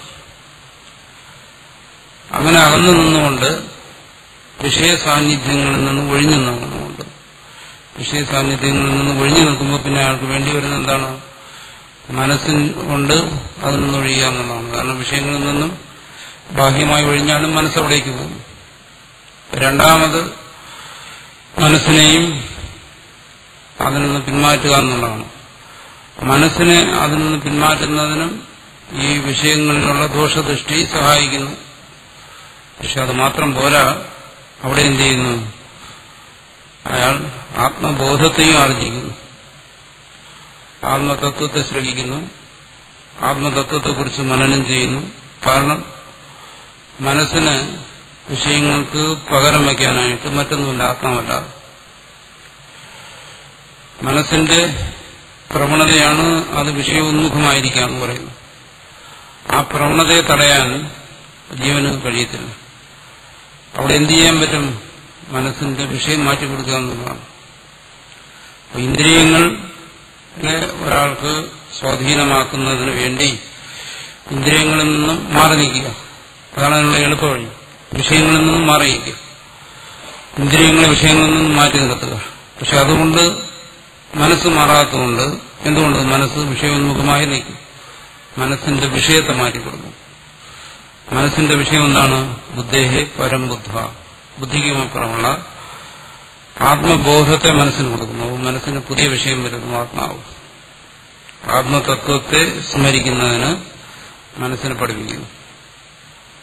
അതാണ് അവസാനം അവനെ പറഞ്ഞു അതുകൊണ്ട് എന്ത് വരുന്നു? വെറും ഇന്ദ്രിയ നിയന്ത്രണമല്ല അവിടെ സാധിക്കുന്നത്. ആത്മബോധം കൊണ്ടാണ് ഒരുവൻ കാമത്തെ അതിജീവിക്കുന്നത്. എന്തുകൊണ്ട്? ആത്മബോധവുമായി താരതമ്യപ്പെടുത്തുമ്പോൾ ആത്മബോധത്തിലേക്ക് മനസ്സിന് ആകർഷണം വന്നു കഴിഞ്ഞാൽ അത് കാമത്തിന്റെ ശക്തിയുമായി താരതമ്യപ്പെടുത്തുമ്പോൾ അത് വളരെ ശക്തമാണ്. മനസ്സെങ്ങനെയാണോ കാമത്തിന്റെ പിറകെ പോകുന്നത്. അതിനേക്കാൾ ശക്തമായി മനസ്സ് ആത്മാവിലേക്ക് ആകർഷിക്കപ്പെടും. എന്തുകൊണ്ട്? കാമം എന്ന് പറയുന്നത് ഇഷ്ടമാണ്. മനസ്സിന് കാമത്തിനോടുള്ള ആ ഇഷ്ടത്തിൽ നിന്ന് മനസ്സിനെ വേർപെടുത്തിയാൽ മനസ്സിന് കൂടുതൽ ഇഷ്ടം തോന്നുന്നത് ആത്മാവിനോടായിരിക്കും. എന്തുകൊണ്ട്? കാരണം കാമം ഇഷ്ടമായിരിക്കുന്നത് അത് ആത്മസാന്നിധ്യത്തിൽ നിലനിൽക്കുന്നതുകൊണ്ട് മാത്രമാണ്. ഇഷ്ടത്തിന്റെ സ്വരൂപം എന്ന് പറയുന്നത് എന്താണ്? അത് ആത്മാവാണ്. അതുകൊണ്ട് തന്നെ അതിന് സച്ചിദാനന്ദം എന്ന് പറയുന്നത് ആനന്ദസ്വരൂപമായിരിക്കുന്ന മനസ്സിലേക്ക് ആത്മാവിലേക്ക് അതിന്റെ സ്വരൂപത്തിലേക്ക് മനസ്സ് പോയാൽ. അതല്ല അതിന്റെ സ്വരൂപത്തെ മനസ്സ് ധ്യാനിക്കാൻ തുടങ്ങിയാൽ സ്വസ്വരൂപമായിരിക്കുന്ന ആനന്ദത്തെ മനസ്സ് ധ്യാനിച്ചാൽ. ആത്മാവിനെ ആനന്ദമായി ധ്യാനിക്കാൻ ഉപദേശിക്കുന്നതല്ല എല്ലാ ശാസ്ത്രങ്ങളിലെല്ലാം ഉപദേശിക്കാൻ അത് ഉപദേശിക്കുന്നു. എല്ലായിടത്തും പറയും ആനന്ദമായി ധ്യാനിക്കുക. എന്തിനു വേണ്ടി അത് ഉപദേശിക്കുന്നു? കാരണം മനസ്സ് വിഷയാനന്ദത്തിലേക്ക് പോകാതിരിക്കാൻ വേണ്ടിയാണ്.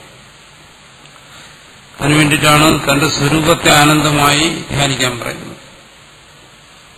പരംബുദ്ധ പരവുമായിരിക്കുന്ന ആത്മാവിനെ ആനന്ദ ആനന്ദസ്വരൂപമായി ധ്യാനിച്ചുകൊണ്ട് അതാണ് പരമമായ ആനന്ദം എന്ന് ധ്യാനിക്കുമ്പോൾ എന്ത് ചെയ്യുന്നു? മനസ്സിന് ക്ഷുദ്രമായ തുച്ഛമായ ആനന്ദത്തോടുള്ള താല്പര്യം കുറയും മനസ്സതിൽ നിന്ന് വിമുഖമാകുന്നു. അങ്ങനെ വിമുഖമായ മനസ്സിന് ആത്മാനന്ദത്തോട് താല്പര്യം വരുന്നു. അത് മനസ്സ് തിരിച്ചറിയുന്നത് എങ്ങനെ? കാരണം മനസ്സ് കാമ അനുഭവത്തിലേക്ക് ഇവിടെ പറയുന്നുണ്ടല്ലോ സംസ്തഭ്യ ഇവിടെ പറയുന്ന മനസ്സിന്റെ സ്തംഭനം എന്ന് പറയുന്ന മനസ്സിന്റെ ശാന്തിയാണ്. അശാന്തി ശാന്തി നഷ്ടപ്പെടുന്നു. മനസ്സ് ഇളകിയിട്ടാണ്. മനസ്സ് ക്ഷോഭിച്ചിട്ടാണ് മനസ്സ് കാമത്തെ അനുഭവിച്ച് തൃപ്തി നേടുന്നത്.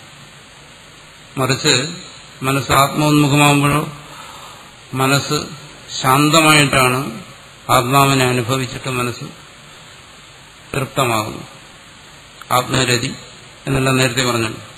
അപ്പൊ ആത്മരതിയിലേക്ക് വരുന്ന മനസ്സ് സ്വാഭാവികമായിട്ടും ഈ പ്രക്ഷുബ്ധമായ കാമ അനുഭവങ്ങളിൽ നിന്നും വിമുഖമാകും. പരംബുദ്ധ എന്ന് പറഞ്ഞിരിക്കുന്നു. അപ്പൊ അനുഭവത്തിലേക്ക് പോകും. ഈ അനുഭവത്തിലേക്ക് മനസ്സങ്ങനെ ശ്രമിച്ചുകൊണ്ടിരിക്കുമ്പോഴും ശക്തമായ കാമപ്രേരണകൾ മനസ്സിനെ തിരിച്ചുകളയും അതുകൊണ്ടാണ് നേരത്തെ പറഞ്ഞത് ജ്ഞാന വിജ്ഞാന നാശനം വിജ്ഞാനത്തെ നശിപ്പിക്കുമെന്ന് പറഞ്ഞു അതിന്റെ തുടക്കത്തിൽ എന്താണ്? മനസ്സ് അങ്ങോട്ട് താല്പര്യം വരുമ്പോഴും വീണ്ടും കാമം പ്രലോഭിപ്പിക്കാം അപ്പോൾ അതിലേക്ക് മനസ്സിനെ വിടാതെ സമ്യക് സ്തംഭനം കൃത്വ മനസ്സിന്റെ സ്തംഭനം എന്ന് പറയുന്നത് വിഷയ അനുഭവങ്ങൾ കൊണ്ട് മനസ്സിന് വരുന്ന ക്ഷോഭം മനസ്സിന് വരുന്ന ഇളക്കം. അത് ആ വിഷയാനുഭവം ആനന്ദമാണെങ്കിൽ മനസ്സിളകിക്കൊണ്ടിരിക്കും അത് മാറിയിട്ട് മനസ്സ് ശാന്തമായി ആത്മശാന്തി അനുഭവിക്കുക. ആത്മാനന്ദം എന്ന് പറയുന്നത് ശാന്തമാണ്. വിഷയാനന്ദം എന്ന് പറയുന്നതോ അത് പ്രക്ഷുബ്ധമാണ്. അത് മനസ്സിനെ ശരീരത്തെ ഇന്ദ്രിയങ്ങളെ എല്ലാം ഇളക്കുന്നതാണ്. ഇതെല്ലാത്തിനെയും അടക്കുന്നതാണ്. അതാണ് അതിന് സ്തംഭനം എന്ന് പറയുന്നത്. ആ പരമമായ ശാന്തിയെ അനുഭവിക്കുമ്പോൾ അങ്ങനെ ഒരു അവസ്ഥയിലേക്ക് വരുമ്പോൾ എന്ത് വരുന്നു? മനസ്സ് ഈ വിഷയങ്ങളുടെ അനുഭവത്തിൽ നിന്ന് വരുന്ന ആ പ്രക്ഷോഭത്തെ അതിനോട് താല്പര്യമില്ലാതെ വരും. മനസ്സ് ശാന്തി ആഗ്രഹിക്കും അതാണ് സ്വേനൈവ ആത്മന സംസ്കൃതേന മനസ്സ ഇതെങ്ങനെ സംഭവിക്കുന്നു? മനസ്സിന്റെ സംസ്കാരം കൊണ്ട്. ആത്മബോധം അന്തിമമായി ആത്മബോധം മനസ്സിന് നൽകുന്ന സംസ്കാരം. തുടക്കത്തിൽ വിഷയങ്ങളിലുള്ള ദോഷദർശനം മനസ്സിന് കൊടുക്കുന്ന സംസ്കാരം.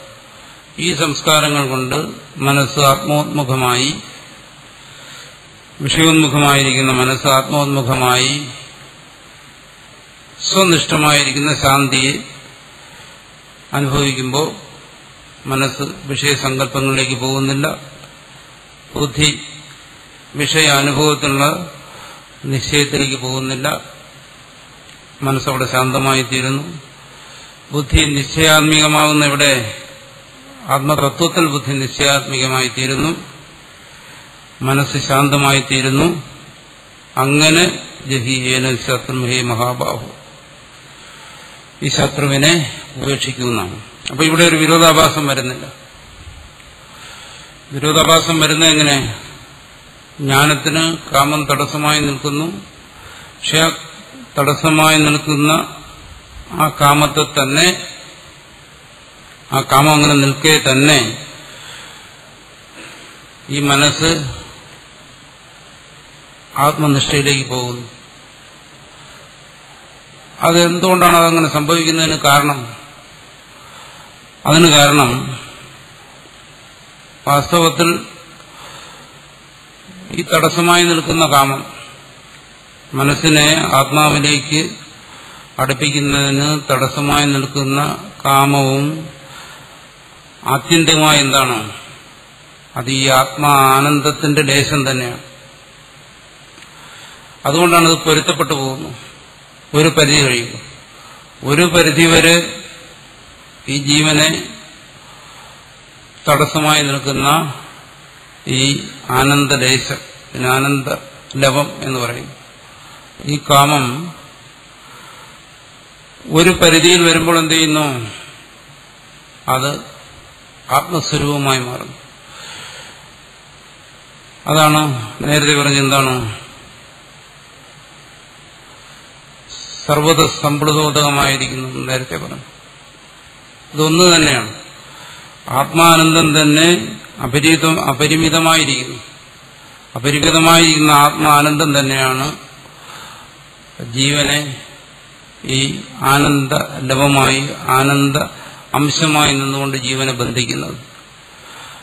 അത് തന്നെയാണ് ഒന്ന് തന്നെ. ഒരേ ഒരു വസ്തു തന്നെയാണ്. ജീവനെ ബന്ധിപ്പിക്കുന്നതും ജീവനെ മോദിപ്പിക്കുന്നതും ഒരേ വസ്തു തന്നെയാണ് കാമമായി നിൽക്കുന്നത് രാമനായി നിൽക്കുന്നതെന്നും പറയും. രണ്ടു ഒന്ന് തന്നെയാണ്. അതിനൊരു ഒരു ഒരു തലമുണ്ട്. ഒരു തലത്തിലേക്ക് ചെല്ലുമ്പോൾ അല്ലെങ്കിൽ വേറെ തരത്തിൽ പറയാം ഒരേ ആത്മാനന്ദം തന്നെ സ്വാഭാവികമായി ഇന്ദ്രിയങ്ങൾ വിഷയങ്ങൾ മനസ്സ് ബുദ്ധി ഇതിന്റെ അസംസ്കൃതമായ തലത്തിലൂടെ പ്രകടമാകുമ്പോൾ ആ ഒരേ ഒരു വസ്തു തന്നെ ജീവനെ ബന്ധിപ്പിക്കുന്നു. അതേ വസ്തു തന്നെ സംസ്കൃതമായൊരു മനസ്സിലൂടെ അതേ വസ്തു തന്നെ പ്രകടമാകുമ്പോൾ അത് ഈ മനസ്സിനെ ആകർഷിച്ച് ആത്മാവിലെത്തിപ്പിച്ച് ജീവനെ ഈ ബന്ധനത്തിൽ നിന്നും മോചിപ്പിക്കുന്നു. അതുകൊണ്ടാണ് സ്ഥൂലമായി ഇതിന് പരസ്പര വിരോധമുണ്ടെങ്കിലും ആത്യന്തികമായി ഇതിന് വിരോധം വരാത്തത്. അപ്പോൾ ഒരു പരിധിവരെ ഇത് ജീവന് തടസ്സമായി നിന്നിട്ട് ഒരു തരത്തിൽ ചെല്ലുമ്പോൾ എന്ത് ചെയ്യുന്നു? ഇത് തന്നെ ജീവന് ഇത് തന്നെ സ്വയം മാറി ജീവനെ മുക്തിയിലേക്ക് നയിക്കുന്നു. എന്തുകൊണ്ട്? ആത്യന്തികമായി ആനന്ദം എന്ന് പറയുന്ന ഒന്നേ ഉള്ളൂ അത് ആത്മാവാണ്. അത് ഏത് കരണങ്ങളിലൂടെ ഏത് ഉപാധികളിലൂടെ പുറത്തേക്ക് വരുന്നു അതനുസരിച്ചാണ് അതിന്റെ ബന്ധന സ്വഭാവം. അത് ഏതൊരു ഉപാധിയിലൂടെ അത് പ്രകടമാകുന്നു അതനുസരിച്ചാണ് അതിന്റെ മോചന സ്വഭാവം. അതുകൊണ്ടാണ് ബാഹ്യമായി സ്ഥൂലമായി വാസ്തവത്തിലുള്ള ആനന്ദവും ഈ കാമവും പരസ്പര വിരുദ്ധമായിരിക്കുന്നു. അതുകൊണ്ട് നമ്മൾ കരുതുന്നു എന്താണ്? ഈ ജ്ഞാനത്തിന് കാമം തടസ്സമായിരിക്കുന്നു എന്ന്. അതേസമയം ആത്യന്തികമായി വിരോധം അവിടെ ഇല്ലാതായിത്തീരുന്നു. ഒരു പരിധി കഴിയും എന്ന് വരുന്നു? ഈ കാമം ആത്മസ്വരൂപമായി തന്നെ തീരുന്നു. വാസ്തവത്തിൽ അത് ആത്മസ്വരൂപം തന്നെയാണ്. അതിനെ ആത്മസ്വരൂപത്തിൽ നിന്നും വേർതിരിച്ചു. എങ്ങനെയാണോ അഗ്നിയും അഗ്നിസ്ഫുലിംഗത്തെയും പോലെ. അഗ്നി സ്ഫുലിംഗം അഗ്നിയിൽ നിന്ന് വേർതിരിഞ്ഞ് നിൽക്കുന്ന പോലെ എന്ത് ചെയ്യുന്നു? ആത്മസ്വരൂപത്തിൽ നിന്നും ആനന്ദം വേർതിരിഞ്ഞ് നിൽക്കുന്നതാണ് കാമം. വാസ്തവത്തിൽ അത് ആത്മസ്വരൂപം തന്നെയാണ്. പക്ഷെ വേർതിരിഞ്ഞു നിന്ന് അത് തന്നെ ബന്ധിപ്പിക്കുന്നു. ബന്ധിപ്പിക്കുന്നതും മോചിപ്പിക്കുന്ന ഒന്ന് തന്നെ അതെങ്ങനെ ബന്ധിപ്പിക്കുന്നു? ഈ ഉപാധികളിലൂടെ അത് പ്രകടമായിട്ട്. ദുർവാസനകളിലൂടെ അത് പ്രകടമായിട്ട് അത് വിഷയോന്മുഖമായി വിഷയങ്ങളെ പ്രവർത്തിപ്പിച്ച് മനസ്സിനെ ക്ഷോഭിപ്പിച്ച് വിവേകത്തെ ആവരണം ചെയ്ത് അത് ബന്ധിപ്പിക്കുന്നു. അങ്ങനെ ബന്ധിപ്പിക്കുന്ന തലത്തിലാണ് ഇതിന് വിരോധാഭാസം വരുന്നത്. അതേസമയം ഒരു തത്വജ്ഞനിൽ എന്ന് വരുന്നു യാതൊരു വിരോധാഭാസത്തെയും ഉണ്ടാക്കുന്നില്ല. തത്വജ്ഞൻ എന്ത് ചെയ്യുന്നു അതേ കാമത്തെ തന്നെ ആത്മസ്വരൂപമായി കാണും അതുകൊണ്ട് ആ കാമത്തിലൂടെ വിഷയാനുഭവത്തിലേക്ക് പോയി മനസ്സിനെ പ്രക്ഷുബ്ധമാക്കി ആനന്ദത്തെ നേരിടേണ്ട ആവശ്യം തത്വജ്ഞാനിക്കില്ല. മറിച്ച് അത് തന്നെ അയാൾ ആ തത്വജ്ഞന്റെ ആത്മസ്വരൂപമായി നിന്നുകൊണ്ട് ആത്മാനുഭവത്തിൽ നിന്നുകൊണ്ട് തുച്ഛമായ വിഷയാനുഭവങ്ങളിലേക്ക് പോയി മനസ്സിനെ നേരത്തെ പറഞ്ഞതായ മനസ് അജ്ഞാന കാലുഷ്യം ബാധിക്കാതെ കാത്തു സൂക്ഷിക്കുന്നു. ഒന്ന് തന്നെ. വിരുദ്ധമായി നമ്മൾ കാണുന്ന ഈ കാമം തന്നെ ഒരു തരത്തിൽ അതിൽ വൈരുദ്ധ്യമില്ലാതായിത്തീരുന്നു. അതുകൊണ്ട് ജ്ഞാനത്തിന് കാമം തടസ്സമായി നിൽക്കുന്നു. ആ കാമത്തെ ജ്ഞാനം കൊണ്ട് കീഴ്പ്പെടുത്തണം എന്ന് പറയുന്നതിൽ വിരോധമുണ്ട്. സ്ഥൂലമായിട്ടാണ് ബാഹ്യമായിട്ടാണ്. പരമാർത്ഥത്തിൽ അവിടെ വിരോധമില്ല. ആ ജ്ഞാനം കൊണ്ട് തന്നെ ഈ കാമത്തെ തടസ്സമായി നിൽക്കുന്ന ആ കാമത്തെ ആ കാമം തടസ്സമായി നിൽക്കെ തന്നെ ജ്ഞാനം കൊണ്ട് അതിനെ കീഴ്പ്പെടുത്തുന്ന തത്വജ്ഞാനി.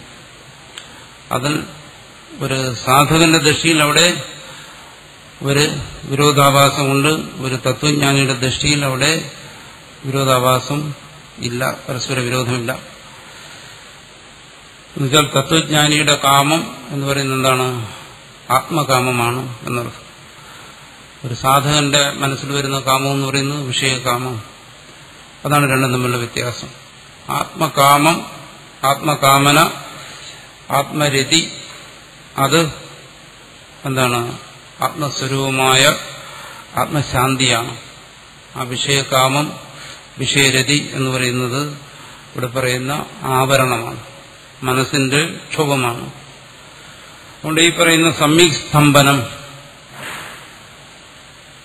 കൃത്വ മനസ്സിനെ സ്വന്തം നിലയിൽ നിരത്തി. ഇവിടെ പറയുന്നു സ്വയനീയ തന്റെ സംസ്കൃതമായ മനസ്സുകൊണ്ട് തന്നിൽ തന്നെ നിർത്തി സമ്യക് സമാധായ. ആത്മാനന്ദത്തിൽ ആത്മബോധത്തിൽ ഉറപ്പിച്ച് നിർത്തി ഈ സ്ഥൂലമായ ബാഹ്യമായ കാമത്തെ ഏനം ശത്രും കാമരൂപം ദുരാസദം ദുഃഖേന ആസത ആസാദനം പ്രാപ്തയസ്യതം ദുരാസതം ദുർവിജ്ഞേയ അനേക വിശേഷം പറയുന്നു. കാമത്തെ അറിഞ്ഞു കീഴ്പ്പെടുത്തുക പ്രയാസമാണ്. എന്തുകൊണ്ട്? സദാ അറിഞ്ഞുകൊണ്ടിരുന്നിട്ടും അതിനെ കീഴ്പ്പെടുത്താൻ കഴിയുന്നില്ല. സദാ കാമത്തെക്കുറിച്ച് ബോധത്തോടുകൂടി ഇരുന്നിട്ടും കീഴ്പ്പെടുത്താൻ കഴിയുന്നില്ല. എന്തുകൊണ്ട്? അതിനെ ഒരു രൂപത്തിൽ അറിയുന്നു അറിഞ്ഞ രൂപത്തിൽ അതിനെ കീഴ്പ്പെടുത്താൻ ശ്രമിക്കുന്നു അത് മറ്റു രൂപത്തിൽ പ്രകടമാകും അതിന്റെ യഥാർത്ഥ രൂപത്തെ തിരിച്ചറിയുക എന്ന് പറയുന്നത് സാധ്യമല്ല. അനേക വിശേഷങ്ങളോടുകൂടിയതാണ് എന്ന് പറഞ്ഞാൽ ഒരു വിഷയത്തിലുള്ള താല്പര്യത്തെ അതിജീവിക്കുമ്പോൾ മറ്റൊരു വിഷയത്തിൽ താല്പര്യം വരുന്നു. ഒരുവന് പൂർവവാസന ഉണ്ടോ പൂർവകൃതമായ പുണ്യം കൊണ്ടോ ആധ്യാത്മിക ജിജ്ഞാസ ഉണ്ടാകുന്നു അവൻ ത്യജിക്കാൻ പ്രയാസമുള്ള പലതിനും ത്യജിക്കുന്നു. മാതാപിതാക്കളെ ഉപേക്ഷിക്കുന്നു. കുടുംബത്തെ ഉപേക്ഷിക്കുന്നു. സമ്പത്ത് ഉപേക്ഷിക്കുന്നു. എല്ലാം ഉപേക്ഷിക്കുന്നു. എല്ലാം ഉപേക്ഷിച്ച് ആധ്യാത്മിക മാർഗത്തിലേക്ക് വന്നാലും അവനെ അവിടെ ബന്ധിക്കുന്നു. അതാണ് അനേക വിശേഷം കാമം. മറ്റേതെങ്കിലും രൂപത്തിൽ വന്ന് ബന്ധിക്കുന്നു. അതാണ് കാമത്തിന്റെ ശക്തി എന്ന് പറയുന്നത്. എങ്ങനെ ബന്ധിക്കും? തിരിച്ചറിയാൻ കഴിയാത്ത രീതിയിൽ ബന്ധിക്കും. ബന്ധനങ്ങളുണ്ടാക്കും. വലിയ കാര്യങ്ങളെ ജയിക്ക ജയിച്ചവന് ചെറിയ കാര്യങ്ങൾ ബന്ധിപ്പിച്ചവൻ. വളരെ നിസ്സാരമായ. എന്തുകൊണ്ട്? ഈ കാമം എന്ന് പറയുന്നത് മായാശക്തിയുടെ ഏറ്റവും പ്രകടമായ രൂപമാണ്. അത് ഏത് തരത്തിൽ? കാരണം ബന്ധിപ്പിക്കുന്നതിന് മുമ്പ് മോഹിപ്പിച്ചു കളയും. അതുകൊണ്ട് ബന്ധനത്തെ തിരിച്ചറിയാൻ കഴിയത്തില്ല. അതാണ് ഇതിന്റെ മായാശക്തിയുടെ. പറയുള്ളൂ മമ മായ ദുരത്യ അതിൽ നിന്ന് മോചനത്തിനുള്ള ഉപായങ്ങളെക്കുറിച്ച് പറയുന്നുണ്ടെങ്കിലും ആ മോച ആ ബന്ധനത്തിന്റെ ശക്തിയെക്കുറിച്ച് പറയുന്നുണ്ട്. ദുരത്യമാണ് അപ്പൊ കാമം എങ്ങനെ ബന്ധിപ്പിക്കും?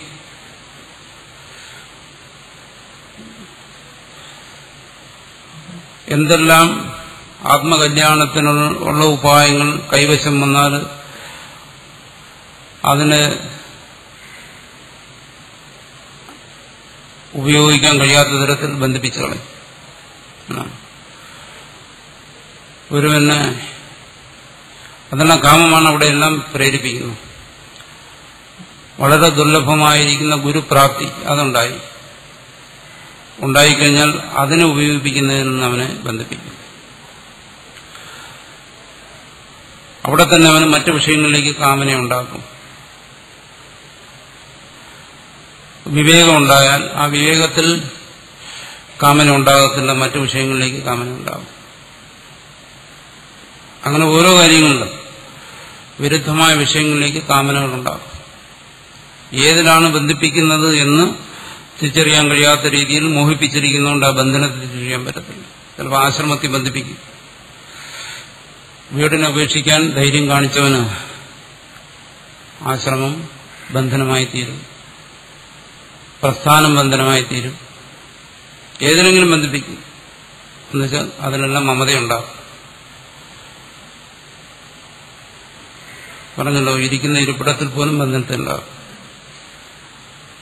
ഏതിനാണ് ബന്ധനം ഉണ്ടാക്കുന്നത് എന്ന് പറഞ്ഞ ഇതൊന്നും വേണ്ട എന്നുള്ള അർത്ഥത്തിലല്ല. പക്ഷെ ഇതൊന്നും ഒരിക്കലും ബന്ധനകാരികളാകാൻ പാടില്ല. ഇതെല്ലാം ഉപായങ്ങൾ മാത്രമാണ്. പക്ഷെ ഇത് ബന്ധനകാരിയാക്കി തരും ഇതിലെല്ലാത്തിനും കാമത്തെ ഉണ്ടാകും എവിടെയെങ്കിലും ഉണ്ടാകും എവിടെയാണ് അത് ഉണ്ടാക്കിയിരിക്കുന്നത് തിരിച്ചറിയാൻ പറ്റത്തില്ല. അതുകൊണ്ട് ഇവിടെ പറയുന്നു ദ്രവിജ്ഞേയ അനേക വിശേഷം. ചിലർക്ക് ബന്ധനം ഉണ്ടാക്കുന്നതിന് ഈ സന്യാസം മാത്രം മതി. വേറൊന്നും വേണ്ട. സന്യാസം തന്നെ ചിലർക്ക് ബന്ധനമായി തീരും കാരണം സന്യാസത്തെക്കുറിച്ച് ഒരു സങ്കല്പങ്ങൾ അതായിരിക്കും സന്യാസിയെ ബന്ധിപ്പിക്കുന്നത്. സന്യാസത്തെക്കുറിച്ച് വരുന്ന അബദ്ധമായ ധാരണകൾ സന്യാസിയെ ബന്ധിപ്പിക്കും. ഈ സന്യാസത്തിന്റെ മഹത്വം തന്നെ സന്യാസിയെ ബന്ധിപ്പിക്കും. സന്യാസത്തിൽ കൽപ്പിക്കപ്പെടുന്ന ദിവ്യത്വം അത് തന്നെ സന്യാസിയെ ബന്ധിപ്പിക്കും. അത് ഏത് തരത്തിലാണ് ബന്ധിപ്പിക്കുന്നത് എന്നുള്ളത് ഈ മായയുടെ മോഹത്തിൽപ്പെട്ടിരിക്കുന്നവന് തിരിച്ചറിയാൻ പറ്റത്തില്ല. തിരിച്ചറിയാത്തതുകൊണ്ട് എന്ത് ചെയ്യും? ഈ ബന്ധനത്തിൽ കഴിയുന്നവൻ തന്നെ സ്വയം മുക്തനാണെന്ന് വിചാരിക്കും. സ്വയം മുക്തനാണെന്ന് വിചാരിച്ച പിന്നെ എങ്ങനെ അയാൾ ബന്ധനത്തെ തിരിച്ചറിയും? മുക്തിക്ക് വേണ്ടി പരിശ്രമിക്കുന്ന ഒരുവൻ താൻ മുക്തനാണെന്ന് കരുതി കഴിഞ്ഞാൽ മായയുടെ അവസാനത്തെ ബന്ധനം അതാണ്.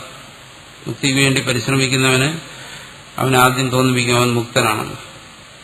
അപ്പോൾ പരിശ്രമം അവിടെ നിന്ന് മുക്തനായി കഴിഞ്ഞു. അവിടെ വെച്ച് ആ ബന്ധനം എന്ന് പറയുന്നത് ഏറ്റവും ശക്തമായ ബന്ധനമാണ്. ബാക്കി എല്ലാത്തിനെയും അതിജീവിച്ചാലും താൻ ഈ മുക്തനാണെന്നുള്ള തോന്നലിനെ അതിജീവിക്കാൻ പറ്റത്തില്ല. അപ്പൊ അതും ഒരു ബന്ധനമായി തീരും. എന്നുവെച്ചാൽ മുക്തിയെക്കുറിച്ചുള്ള സങ്കല്പം തന്നെ മുക്തിക്ക് തടസ്സമായി നിൽക്കും. എന്തുകൊണ്ട്? അവിടെയും മോഹം നയിക്കും അതിനെല്ലാം കാരണമായിരിക്കുന്നത് എന്താണ്? കാമനയാണ്. അതിനോടുള്ള കാമനകൾ വരുന്നു. ആ കാമം തടസ്സമായി നിൽക്കുന്നു. പറയുന്നു ദുർവിജ്ഞേയ അനേക വിശേഷം. പലതരത്തിൽ പല രൂപത്തിൽ അത് മോഹിപ്പിക്കുന്നു. അതിനെല്ലാം തിരിച്ചറിയുക വിവേകം കൊണ്ട് ഈശ്വരകൃപ കൊണ്ടും ഗുരുകൃപ കൊണ്ടും അതിനെ തിരിച്ചറിയുക. അങ്ങനെ തിരിച്ചറിഞ്ഞ് ജഹി ഒഴിവാക്കും ഈ കാമത്തെ ഒഴിവാക്കും. മഹാബാഹു നിനക്ക് പരിശ്രമിക്കുന്നതിന് കഴിവുള്ളവനാണ്. നീ വിചാരിച്ചാൽ അത് നടക്കും എന്ന് അർജുനനെ ബോധിപ്പിക്കാൻ വേണ്ടിയിട്ടാണ് സംബോധന. വലിയ പ്രതാപശാലിയാണ് നീ വലിയ പരാക്രമശാലിയാണ്. നിന്റെ ഈ പ്രതാപവും പരാക്രമവും എല്ലാം നിന്റെ ഉള്ളിലിരിക്കുന്ന കാമം എന്ന് പറയുന്ന ശത്രുവിനോടാണ് അല്ല ബാഹ്യമായി നിന്റെ മുമ്പിൽ നിൽക്കുന്ന ഭീഷ്മദ്രോണാദികളോടല്ല എന്ന് ഒരേ കൂടെ ഓർമ്മിപ്പിക്കാൻ വേണ്ടിയിട്ടാണ് മഹാബാഹു എന്ന് അർജുനനെ അല്ലെങ്കിൽ അർജുനന്റെ സ്ഥാനത്തുള്ള ജീവന്മാരെ സംബോധന ചെയ്യുന്നു കാമരൂപം ദുരാസതം ആ വിഷയത്തെക്കുറിച്ച് പറഞ്ഞു വന്നിട്ട് അവസാനം പറഞ്ഞ് നിർത്തിയ പദം അതാണ് ദുരാസതം ഇത് എളുപ്പമുള്ള ഒരു കാര്യം അല്ല കാമത്തെ വിജയിക്കുക എന്ന് പറയുന്നത്. വളരെ കഠിനമാണ്. എന്ന് അതങ്ങനെ അതിന്റെ കാഠിന്യത്തെക്കുറിച്ച് ബോധിപ്പിക്കുന്ന എന്തിനാണ്? ഒരാളെ നിരുത്സാഹപ്പെടുത്താൻ വേണ്ടിയിട്ടല്ല മറിച്ച് അയാൾ അലംഭാവം വരാതിരിക്കാൻ വേണ്ടിയിട്ടാണ്. അയാളുടെ പരിശ്രമത്തിലൊരു കുറവ് വരാതിരിക്കാൻ വേണ്ടിയിട്ടാണ്. അതായത് അസാധ്യമായൊരു കാര്യമാണ്. ഇതിനുവേണ്ടി ആരും ഇത് നടക്കുന്ന കാര്യമില്ല എന്നല്ല ഇവിടെ ബോധിപ്പിക്കുന്നു പരിശ്രമത്തിൽ ഒരാൾ ഒരിക്കലും ഇത് മതി എന്ന് കരുതാൻ പാടില്ല. ഇത് വളരെ പരിശ്രമം ആവശ്യമുള്ള ഒരു കാര്യമാണ് എന്ന് കാണിക്കാൻ വേണ്ടിയിട്ടാണ്. അങ്ങനെ കാമ ജയത്തെ ഉപദേശിച്ചുകൊണ്ട് കാമത്തിന്റെ നിയന്ത്രണവും കാമത്തിന്റെ ദൈവവും. രണ്ടും ഒരു സാധകന് കാമത്തിന്റെ മേലെ നിയന്ത്രണം വേണം. ഒരു തത്വജ്ഞ മുക്തൻ എന്ത് ചെയ്യുന്നു? കാമത്തെ ജയിച്ചിരിക്കുന്നു. അതിന് കാമത്തെ നിയന്ത്രിക്കുന്നതിന് ശാസ്ത്രങ്ങളിൽ പറയുന്നത് വിഷയങ്ങളിലുള്ള ദോഷദൃഷ്ടിയാണ്. കാമത്തെ ജയിക്കുന്നതിന് ശാസ്ത്രത്തിൽ പറഞ്ഞിരിക്കുന്നത് എന്താണ്? ആത്മബോധമാണ് പരംബുദ്ധ. അതുകൊണ്ട് ഒരു സാധകനെ സംബന്ധിച്ചിടത്തോളം ഇത് രണ്ട് സഹായിക്കും. ഒരു സാധകനെ സംബന്ധിച്ചിടത്തോളം കാമത്തെ അനുനിമിഷം നിയന്ത്രിക്കണം അനുനിമിഷം അതിനെ ജയിക്കുകയും വേണം. അപ്പൊ വിഷയങ്ങളിലുള്ള ദോഷദൃഷ്ടി കൊണ്ട് അയാൾ കാമത്തെ നിയന്ത്രിക്കുന്നു. ആത്മബോധം കൊണ്ട് എന്ത് ചെയ്യുന്നു? കാമത്തെ അയാൾ ജയിക്കുന്നു. ഒരു സാധനയുടെ രൂപത്തിൽ ഒരു പരിശ്രമം എന്നല്ല അതിന് കീഴ്പ്പെടാൻ പാടില്ലല്ലോ. എപ്പോഴും അതിനെ ജയിച്ചുകൊണ്ടിരിക്കുന്നു. ആ ജയം അതിന്റെ ആത്യന്തികമായ ജയമായി തീരുന്നത് ആത്മസാക്ഷാത്കാരത്തിലാണ്. പക്ഷെ അതിനു മുമ്പും അയാൾ ആത്മബോധത്തെ ആർജിക്കുന്നു. ആർജിക്കുന്ന ആത്മബോധം കൊണ്ട് ഈ സഹജമായിരിക്കുന്ന കാമപ്രേരണകളെ അയാൾ ജയിച്ച് ജയിച്ച് മുന്നോട്ട് പോകും. ജയിച്ചു പോകുന്നു എന്ന് പറയുമ്പോൾ ഇടയ്ക്ക് പരാജയവും വരാം. പരാജയം വന്നാലുമായി ജയിച്ചുകൊണ്ട് മുന്നോട്ട് പോകും. അതിന് വേണ്ടത്ര കരുത്ത് കിട്ടുന്നത് ആ വിഷയങ്ങളിലുള്ള ദോഷദർശനം കൊണ്ടാണ്. അങ്ങനെ ഈ കാമത്തെ ജയിക്കണം എന്നിവിടെ പ്രധാനമായി ഇവിടെ പറഞ്ഞിരിക്കുന്നത് ഈ അധ്യായം കർമ്മയോഗത്തിന്റെ പ്രകടനമാണ്. ഇവിടെ മുഖ്യമായി ചർച്ച ചെയ്ത് കർമ്മയോഗത്തെ കുറിച്ചാണ്. ആ കർമ്മയോഗിയുടെ കർമ്മയോഗ അനുഷ്ഠാനം എന്ന് പറയുന്ന സാധനയുടെ ഭാഗമായി അയാൾക്ക് ആത്മബോധം കാരണം ആത്മാവിനെ കുറിച്ചുള്ള ബോധം ഉണ്ടായാലേ ഒരാൾക്ക് കർമ്മയോഗിയാകാൻ കഴിയത്തുള്ളൂ. അതുകൊണ്ട് അതിന് വേണ്ടുന്നതായ ആത്മബോധത്തെക്കുറിച്ച് ഇവിടെ പറഞ്ഞു. അപ്പോൾ ആത്മബോധത്തോടുകൂടിയ കർമാനുഷ്ഠാനം കർമ്മയോഗം ആ കർമ്മയോഗത്തിൽ ശീലിക്കേണ്ടതായ ഈശ്വര സമർപ്പണം അതിനെക്കുറിച്ച് പറഞ്ഞു. നിസ്സംഗത അതിനെക്കുറിച്ച് ചർച്ച ചെയ്തു. കർമ്മ ഫല ത്യാഗം അതിനെക്കുറിച്ച് ചർച്ച ചെയ്തു. കർമ്മത്തിനും കർമ്മഫലത്തിനുമുള്ള അനാസക്തി അതിനെക്കുറിച്ച് ചർച്ച ചെയ്തു. അങ്ങനെയുള്ള നിരവധി കാര്യങ്ങളിവിടെ ചർച്ച ചെയ്തു. അവസാനമായി മനോനിയന്ത്രണം കാമജയം. ഇത്രയും കാര്യങ്ങളാണ് ഇവിടെ മുഖ്യമായി ചർച്ച ചെയ്തിരിക്കുന്നത്. കർമ്മയോഗം അനുഷ്ഠിക്കുന്നവർ എന്നുള്ള നിലയ്ക്ക് നമ്മളെ സംബന്ധിച്ച് സദാ ഓർമ്മിച്ചു വയ്ക്കേണ്ട കാര്യങ്ങളാണ് ഈ മൂന്നാം അധ്യായത്തിൽ. ഒരിക്കലും മറക്കാൻ പാടില്ലാത്ത കാര്യങ്ങളാണ് ഇവിടെ ചർച്ച ചെയ്തിരിക്കുന്നത്.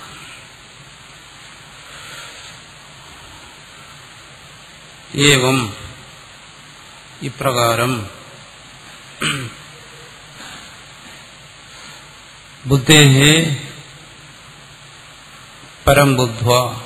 ബുദ്ധിക്കും പരമമായിരിക്കുന്ന ബുദ്ധിയെക്കാളും പ്രകൃഷ്ടമായിരിക്കുന്ന ആത്മസ്വരൂപത്തെ അറിഞ്ഞിട്ട് ഹേ മഹാബാഹു അല്ലയോ പ്രതാപശാലിയായ സാധക. അർജുന ഉദ്ദേശിച്ച് പറയുകയാണ്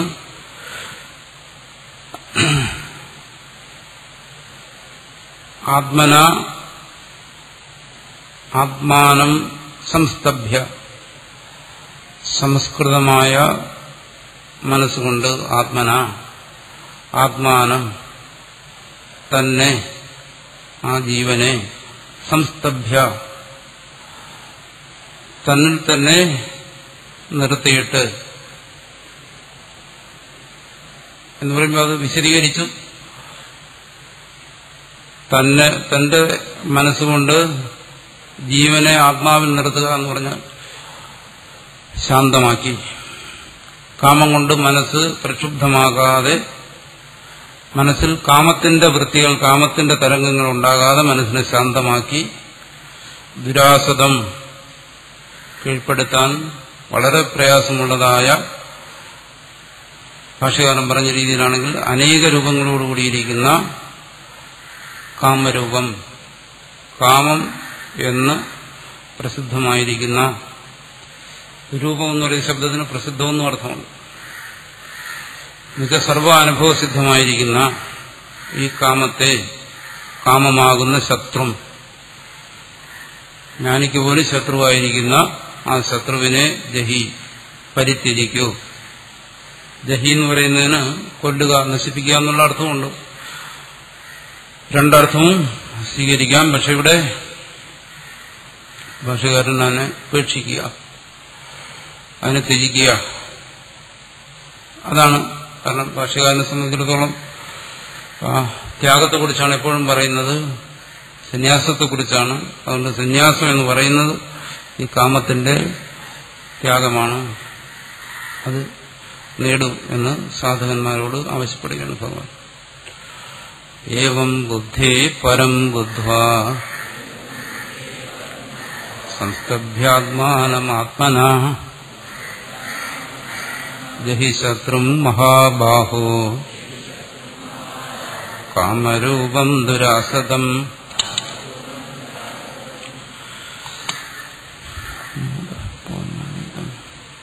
शिष्य पूर्णस्य पूर्णमादाय पूर्णमेवावशिष्यते